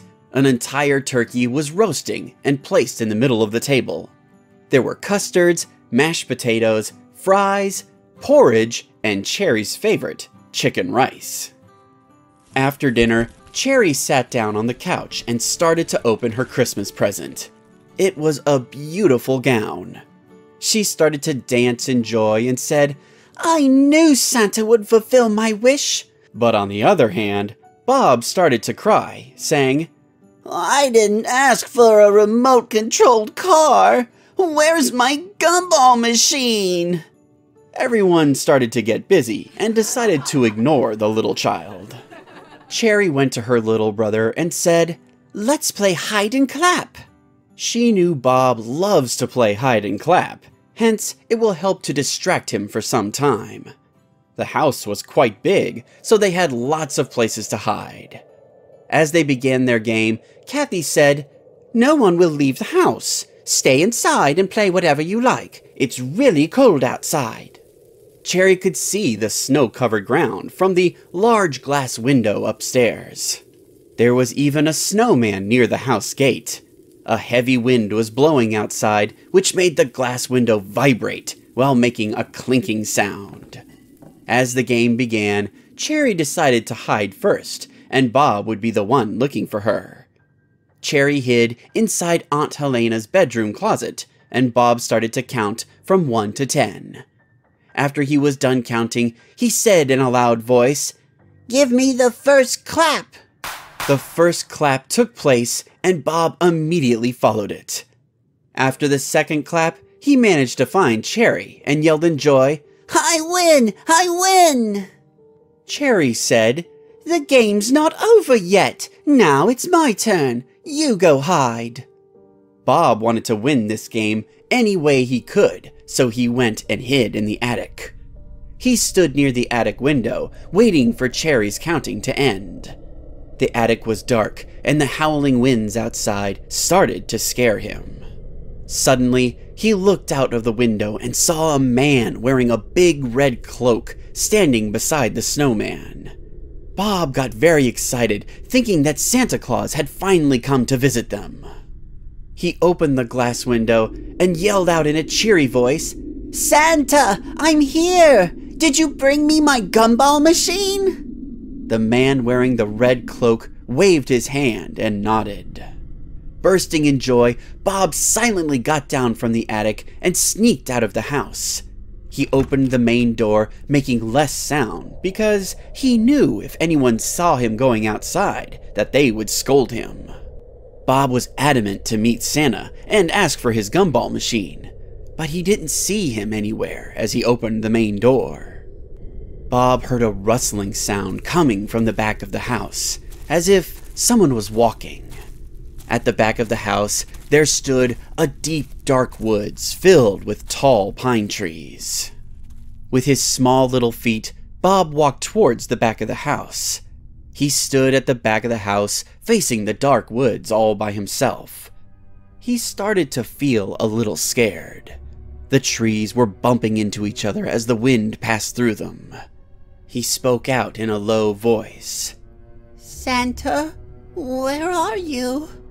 Suddenly, he heard footsteps behind the nearby pine tree.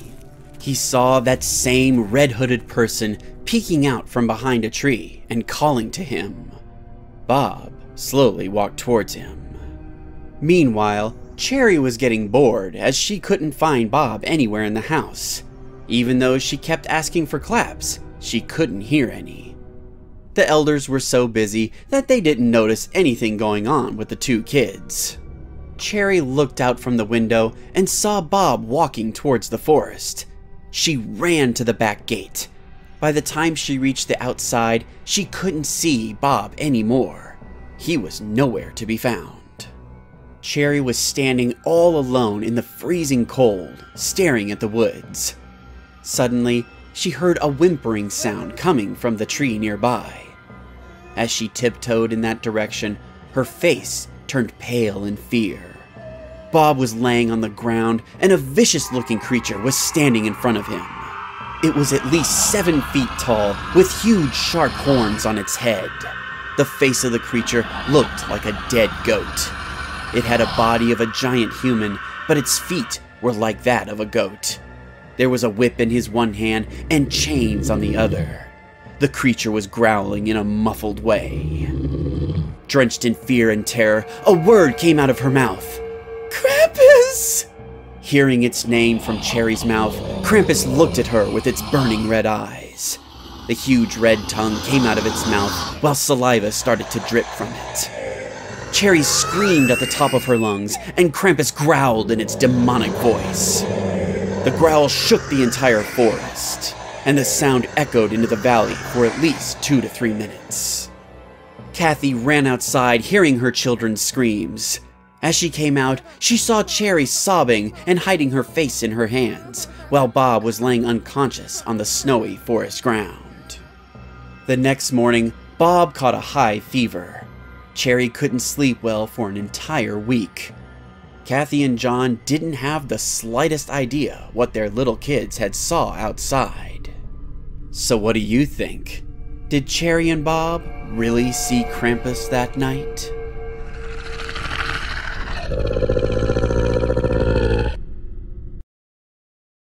Last year, I went to visit my girlfriend at my sister's house near the countryside.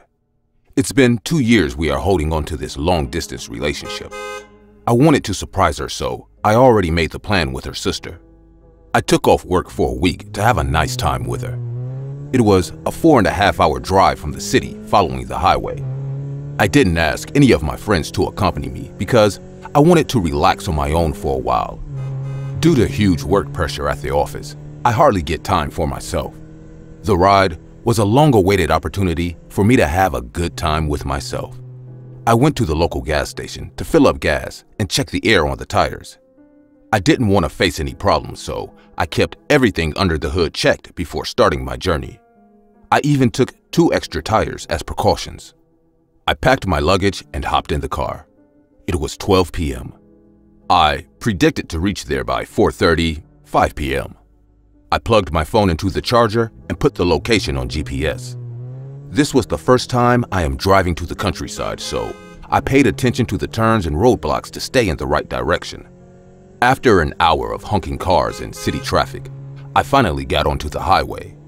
My eyes were charmed with the views around me. Vast green fields and a blue horizon were lying in front of my eyes.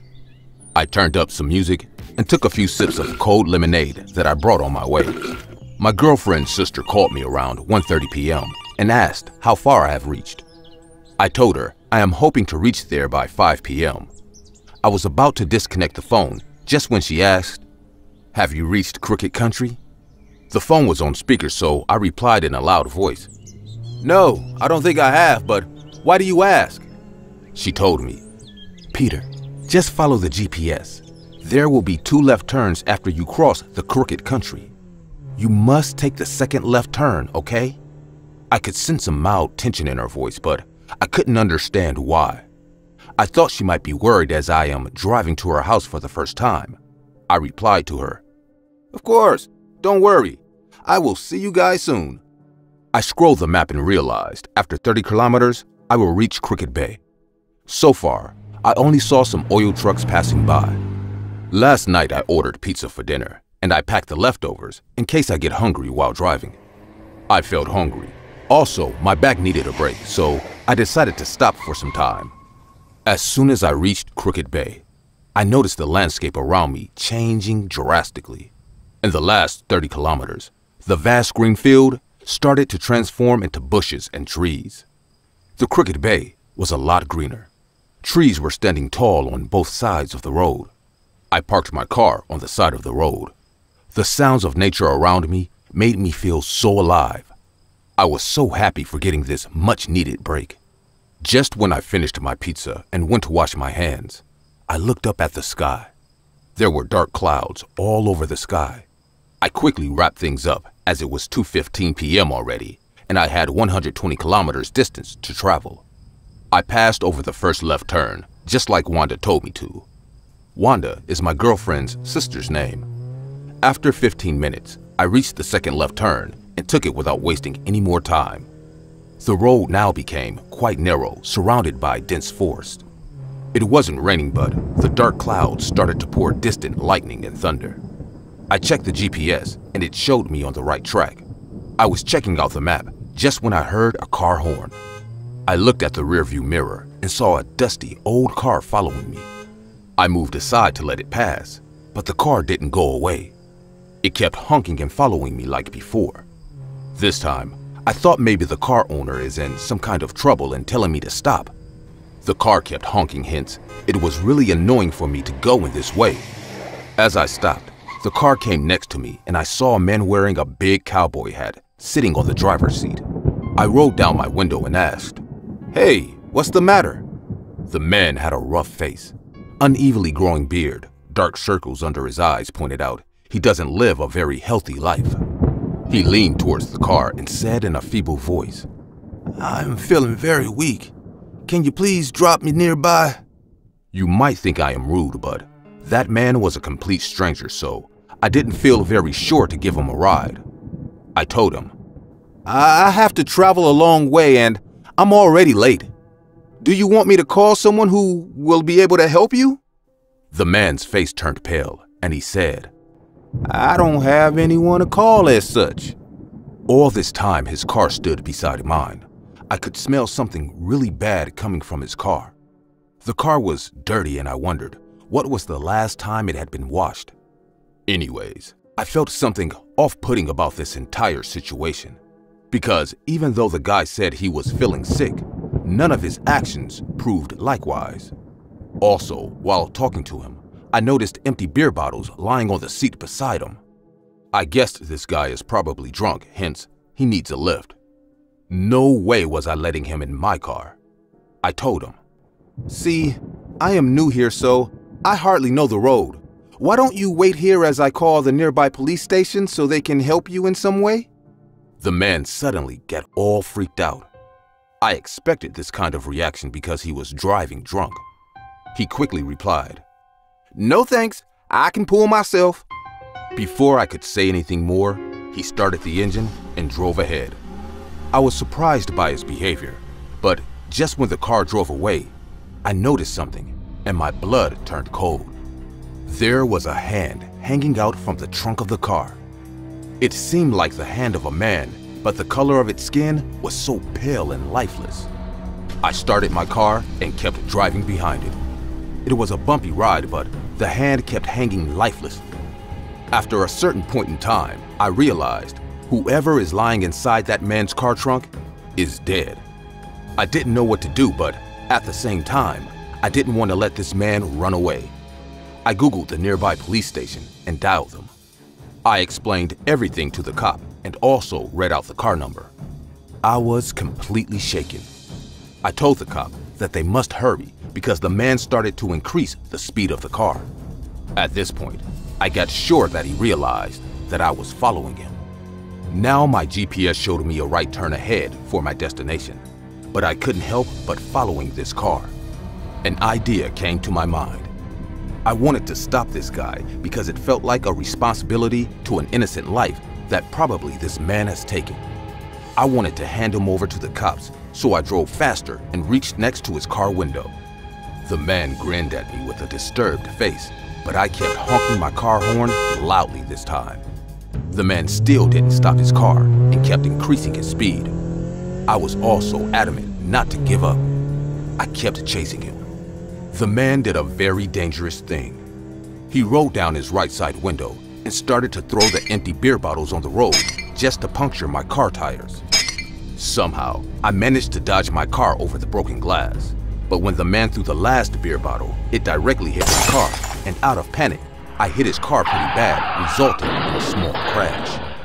When I got back to my senses, I realized my head was bleeding as I hit the steering wheel and I saw the man's car crashed on the nearby tree. I unbuckled my seatbelt and rushed to his car. There was no one inside. The man was nowhere to be found. I checked my phone and saw a couple of missed calls from the police station. I called them back and told them to come to the location. I waited inside my car, thinking in case the man comes back, but there wasn't any sign of him. The cops came after half an hour. As they opened up the trunk of the car, we all witnessed a gruesome sight. A man was lying inside the trunk. His body was wrapped in plastic, but somehow his hand came out of it. Everyone could guess that this man was dead for a while now, as someone slit his throat. I called Wanda and told her about all of this. I handed my phone to the cops, and they also talked to her saying that they are going to drop me at home as I shouldn't be driving. They will take my car to the police station, and I can come get it whenever I feel like it. The police car reached Wanda's house, and I saw my girlfriend, Misty, running towards me, all crying and sobbing. I hugged her as I was all tensed and terrified. After two days, when I went to the police station, the cops revealed some bizarre information to us. For the last two to three months, many passengers seemed to be missing near Crooked Bay. Some cases were filed by the family members, whereas in other cases, the cops found an abandoned car lying in the area with their owners missing. This, so far, was the first dead body they have found. It is the body of a man named Richard Smith, whose wife filed his missing case two months back. His wife told the police that her husband was coming from a fishing trip near Crooked Bay, but he never reached home. The cops found his car on the left turn where I stopped to eat. After forensics ran tests, they discovered surgical scars on Richard's body the autopsy report showed that someone removed his liver and kidneys after making him unconscious. It was evident that the murderer sold his organs. The local newspapers were informed by the cops.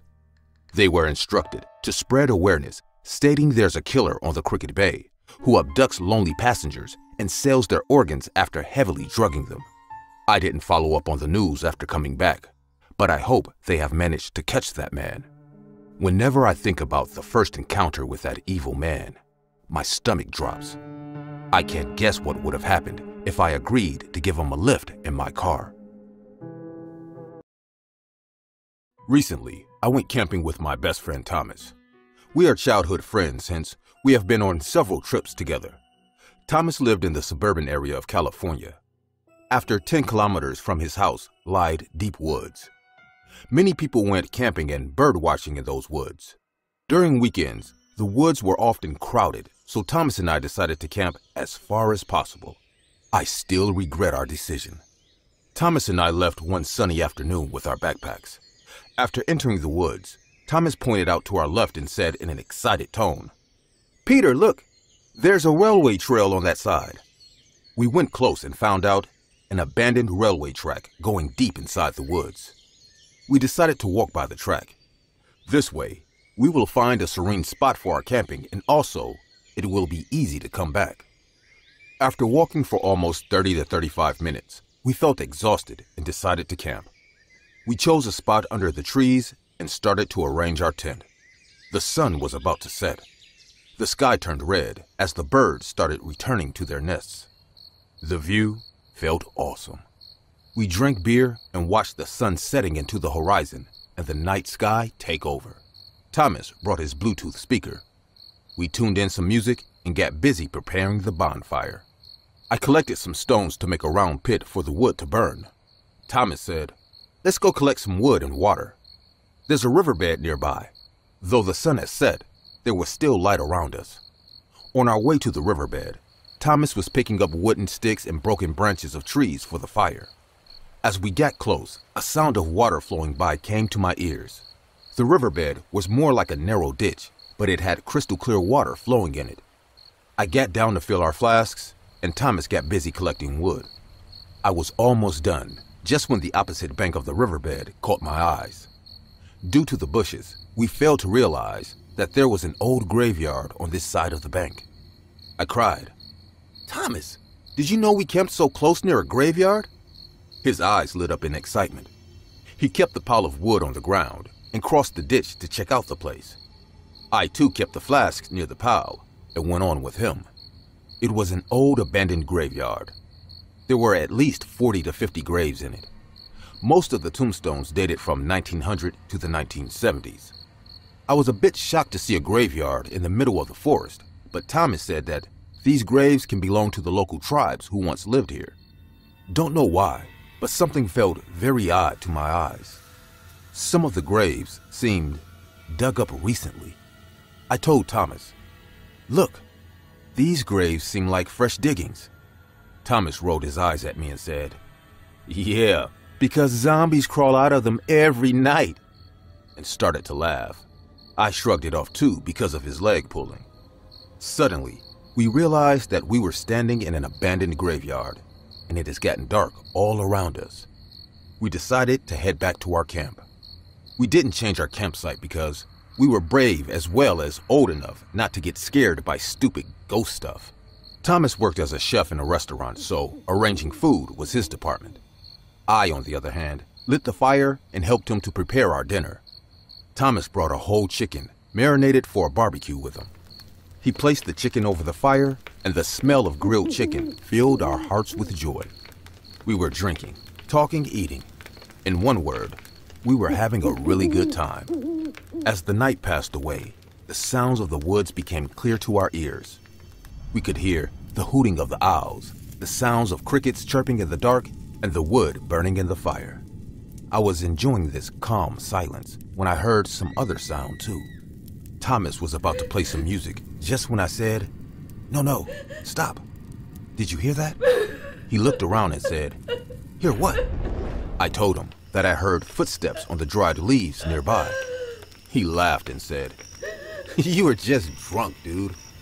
But before he could finish laughing, a spine chilling scream made our hearts drop to our stomachs. We heard a woman screaming in absolute fear and pain.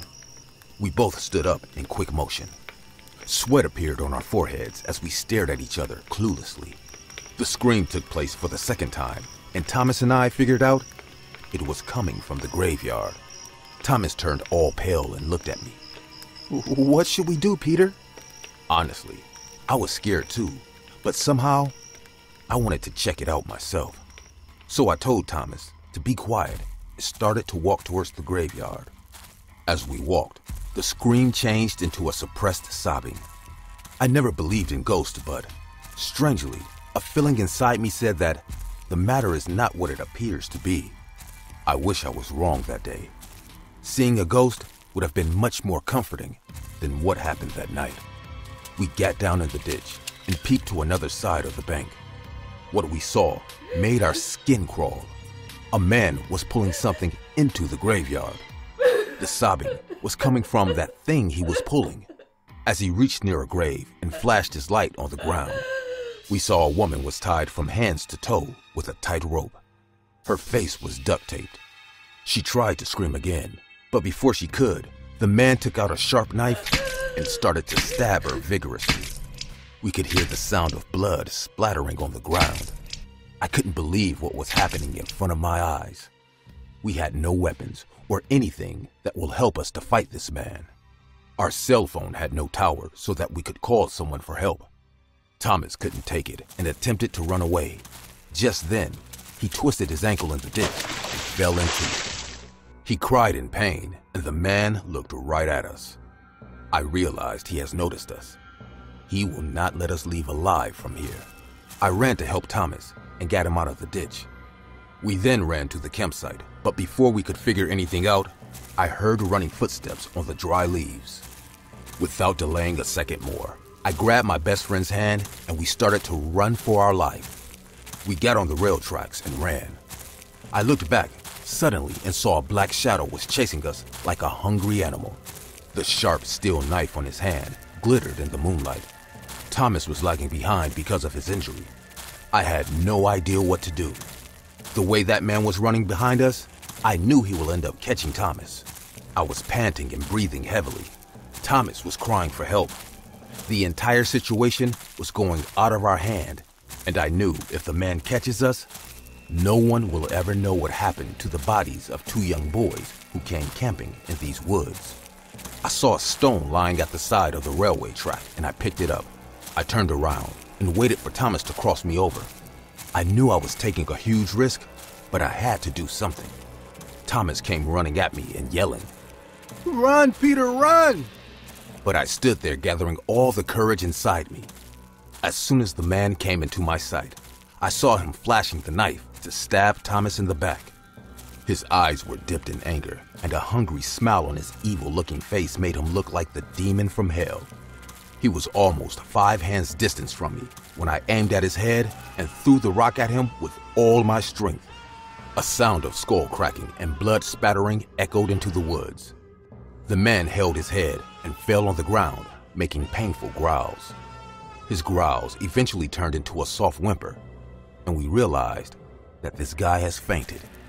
We ran out of the woods and reached the nearby police station. We explained everything to the cops. They sent Thomas to the hospital, and I came back with them to spot where I hit the man.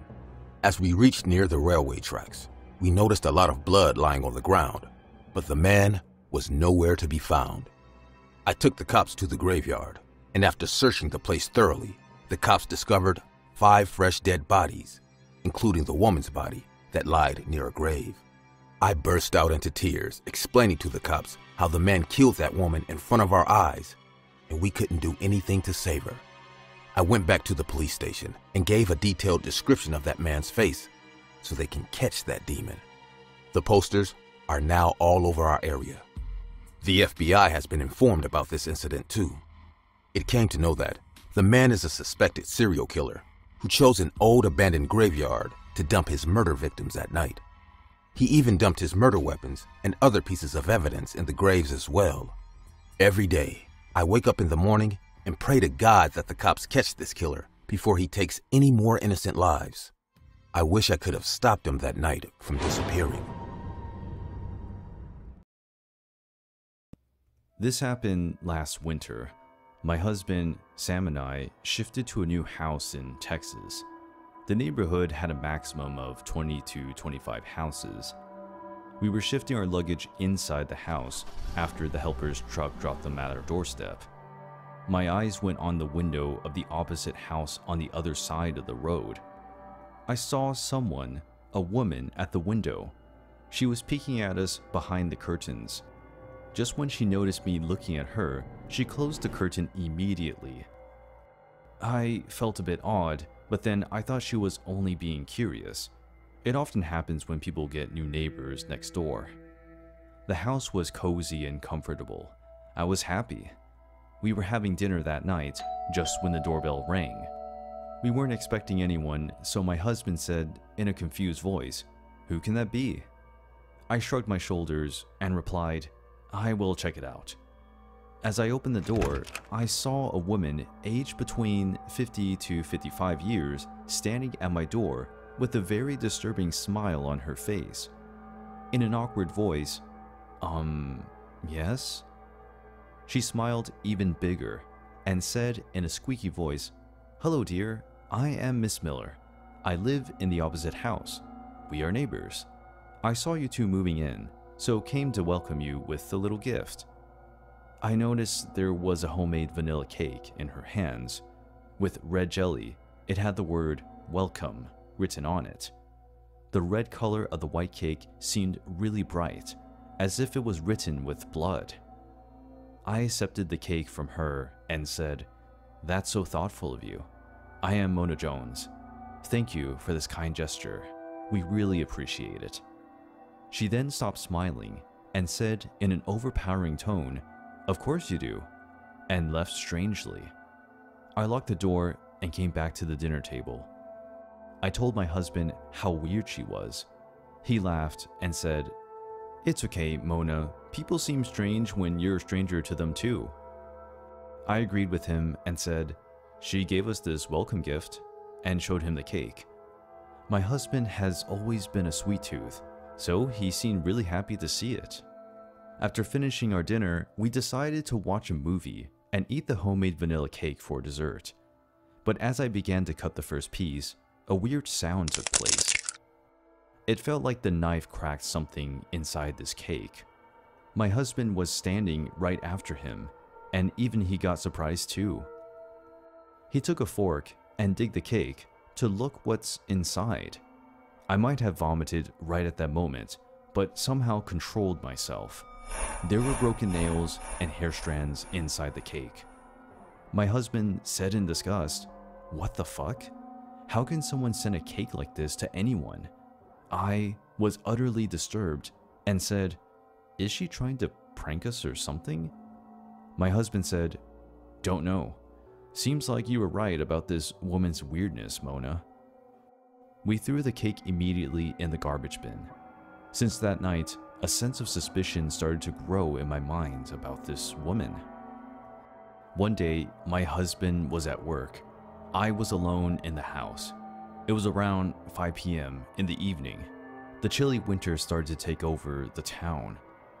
I decided to head to the local store to get a bottle of wine and some other stuff to prepare for dinner. As I got ready and came outside, I noticed that woman walking towards me with the same creepy smile. I didn't pay any attention and started to lock the door. She came near the porch and said, Hi, dear. Looks like you're going out, huh?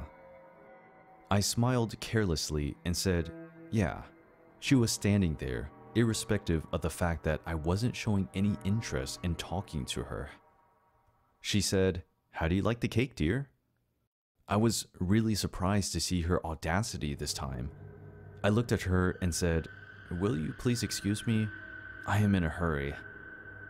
I was walking away just when she asked me for a completely unexpected question.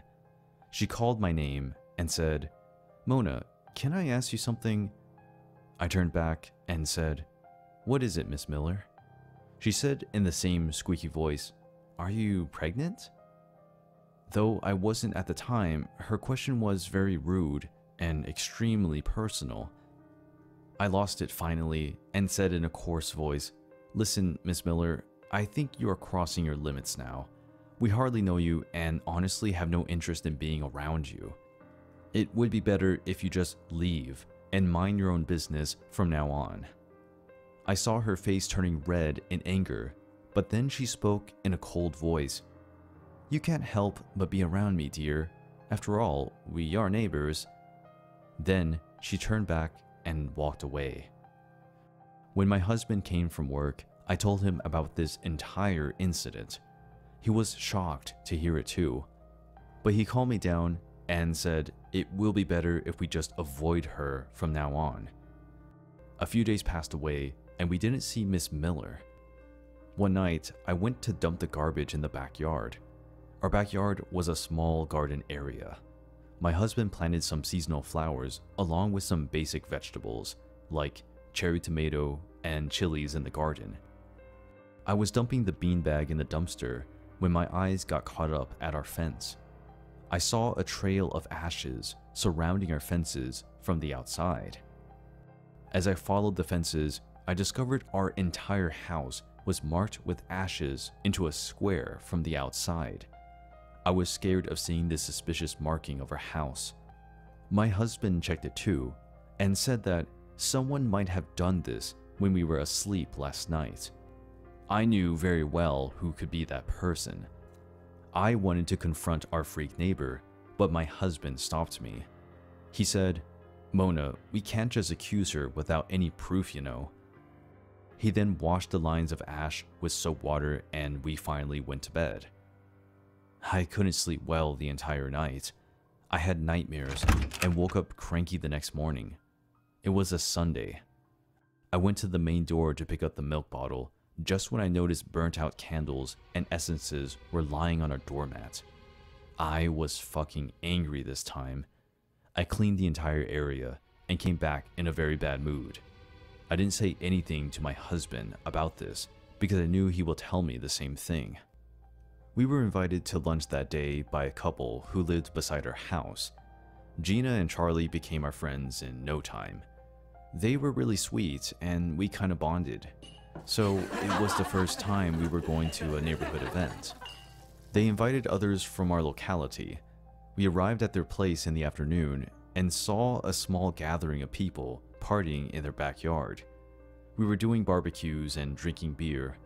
Sam got mixed up with them immediately. I was sitting in a chair in the corner. I was a bit off that day. Gina came to me and handed me a bottle of beer. She sat down beside me and said, What's wrong, Mona? You seem awfully quiet today. I smiled hesitantly and asked her, You didn't invite Miss Miller? Gina's face turned really annoying hearing Miss Miller's name. She said in an irritated voice, Everyone in this neighborhood avoids her. We all have good reasons for that. She is so creepy and weird, you know? When Charlie and I moved here for the first time, she suddenly came one night to greet us with her welcome gift. Do you know what that old hag did? She said in an angry tone. I was surprised to hear that Miss Miller has approached Gina the same way she approached me. I said in a curious tone, What? Gina replied, She gave us a pie. When I went to eat it, I found fallen teeth and some tiny animal bones inside it. Just think how shitty and fucking creepy it was. I told Gina about the cake Miss Miller gave me as a welcoming gift. Gina told me in a strict voice, Mona, you do not want to talk to a person like that. You know what? The entire town calls her a witch. Some people even say she is into all the voodoo and black magic stuff, and she secretly watches people from her window. I have seen her peeking behind her window curtains many times. It's just better if you just avoid her. Gina's words scared me even more. After the party, I came back home and searched on the internet about this black magic stuff. I read online that burning candles and incenses were actually part of voodoo rituals. I wanted to teach this woman a lesson, so I came up with a plan.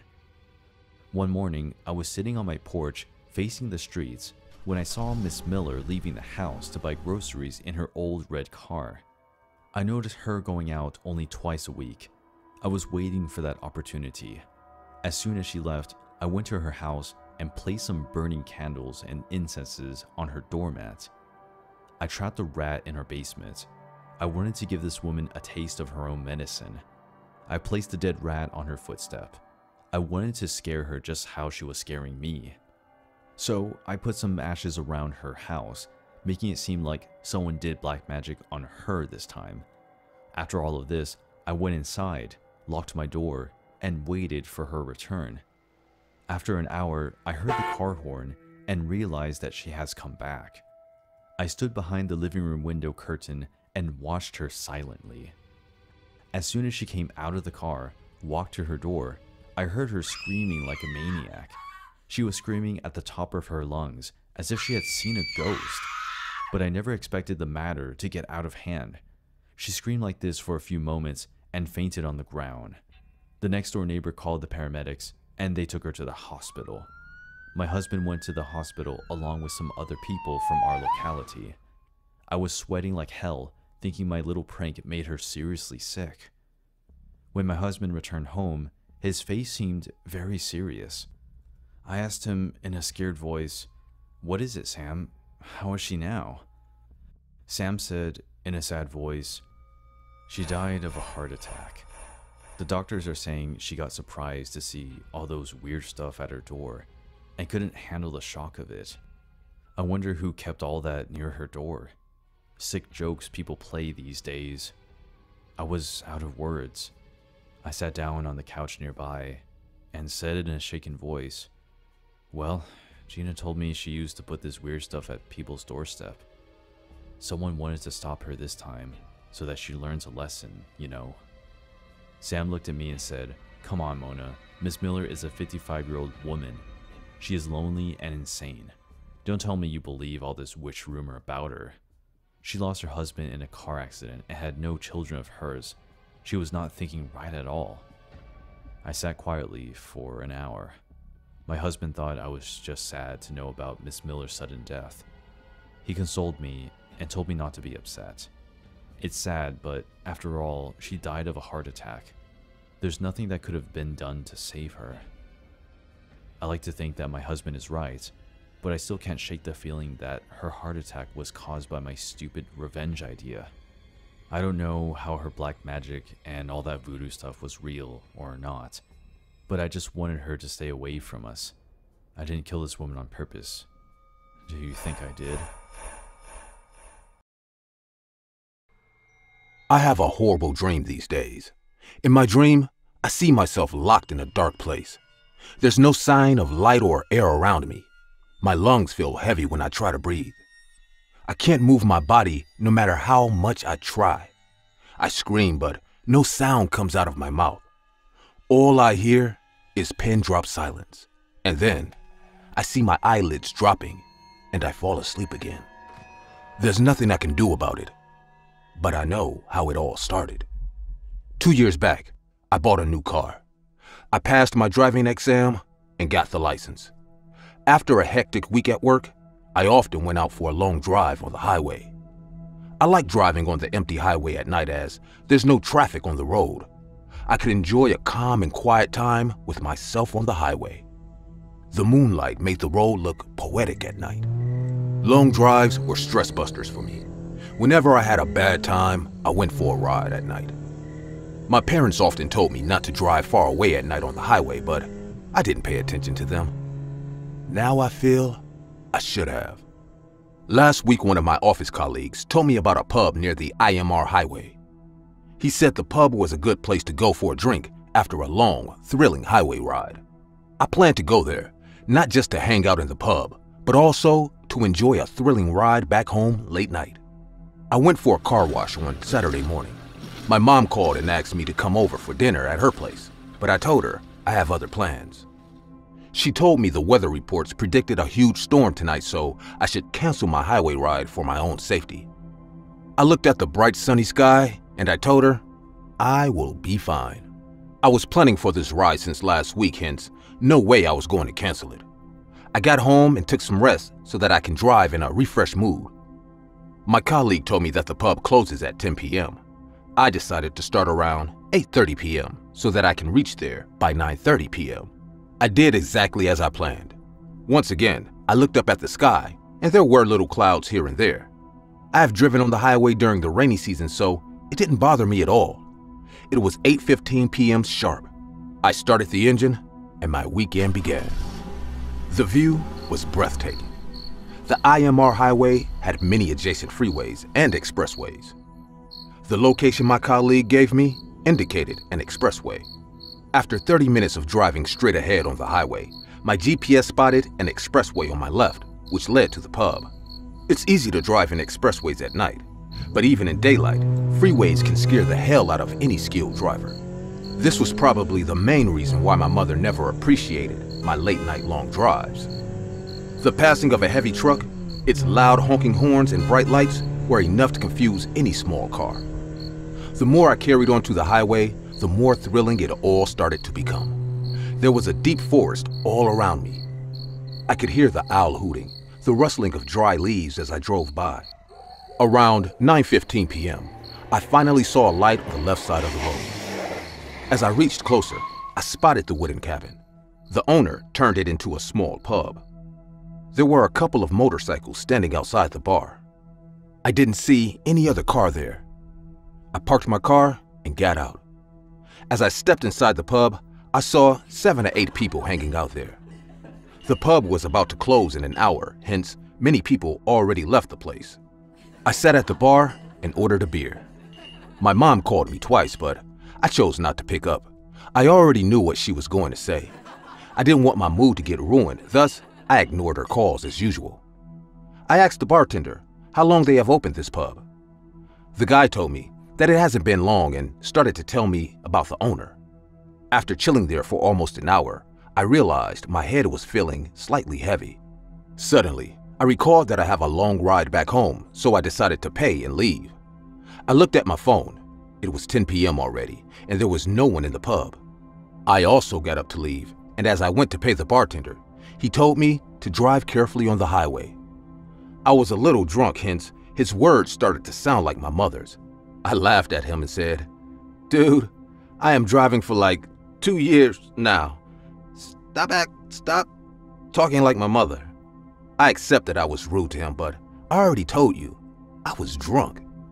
I got inside the car, twisted my keys, and started the engine. I drove the long way, even after being really drunk, so I was quite confident about my driving skills. I rolled up my window and noticed raindrops on my windshield. It started to rain lightly. I reversed the car and went towards the highway. The expressway was completely empty and dark. My headlights did a pretty good job of showing me the way ahead. As I reached the highway, a huge bolt of lightning struck in the distance. The sound of it almost made my ears numb.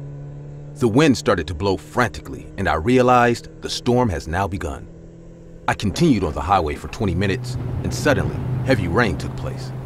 My car wipers tried really hard to clear out the view in front of my eyes, but the rain grew heavier. I felt I should have left earlier.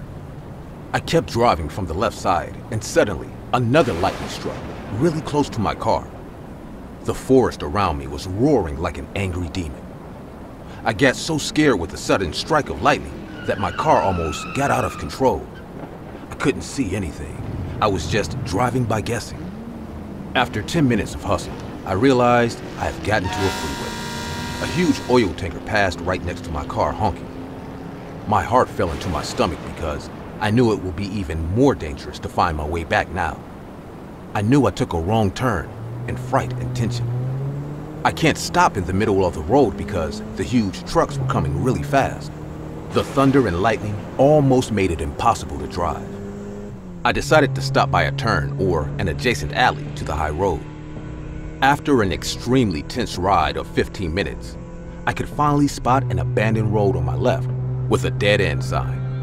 I immediately decided to park my car there and spend the night in my car. I can't drive home or get out of this freeway at least not in this weather. So I thought it would be better for me if I just slept in my car tonight. I realized it will be safer to get out of this freeway in the morning. I was about to take the left turn just when I heard a loud honk. As I turned around to look, I saw a huge truck coming at my car. I panicked and pressed the accelerator so hard that my car took up sudden high speed. I couldn't control the situation and my car crashed into a huge tree almost making an explosion. My glass windows were shattered. I was covered with broken glass after hitting my head badly. The car alarm went on, and I saw my eyelids closing. Since then, I have this terrible dream which I can't really figure out. It feels like I am forever stuck in this dream and I can never wake up. I call out for my mother. I call out for my father, but no one answers my cry. Just now, I realized why. Right now, at this very moment, I can hear my mom sobbing. I can't see her because it's so dark around me. I can't walk up to her as I can barely move. She is crying like a maniac, and her words are even more insane than her reaction. Do you know what she is telling me now? Oh, Jamie, I told you not to go out in the storm that night, but you never listened to me. I told you it's not safe to drive alone on the highway at night, but you ignored my words. I can't take this pain. I can't believe my son is trapped inside this wooden coffin forever. I never imagined that I would come to visit you in your grave. I have this dream all the time. I see myself locked up in a dark, claustrophobic space. I can't move. I can't speak. I just keep staring at the darkness around me.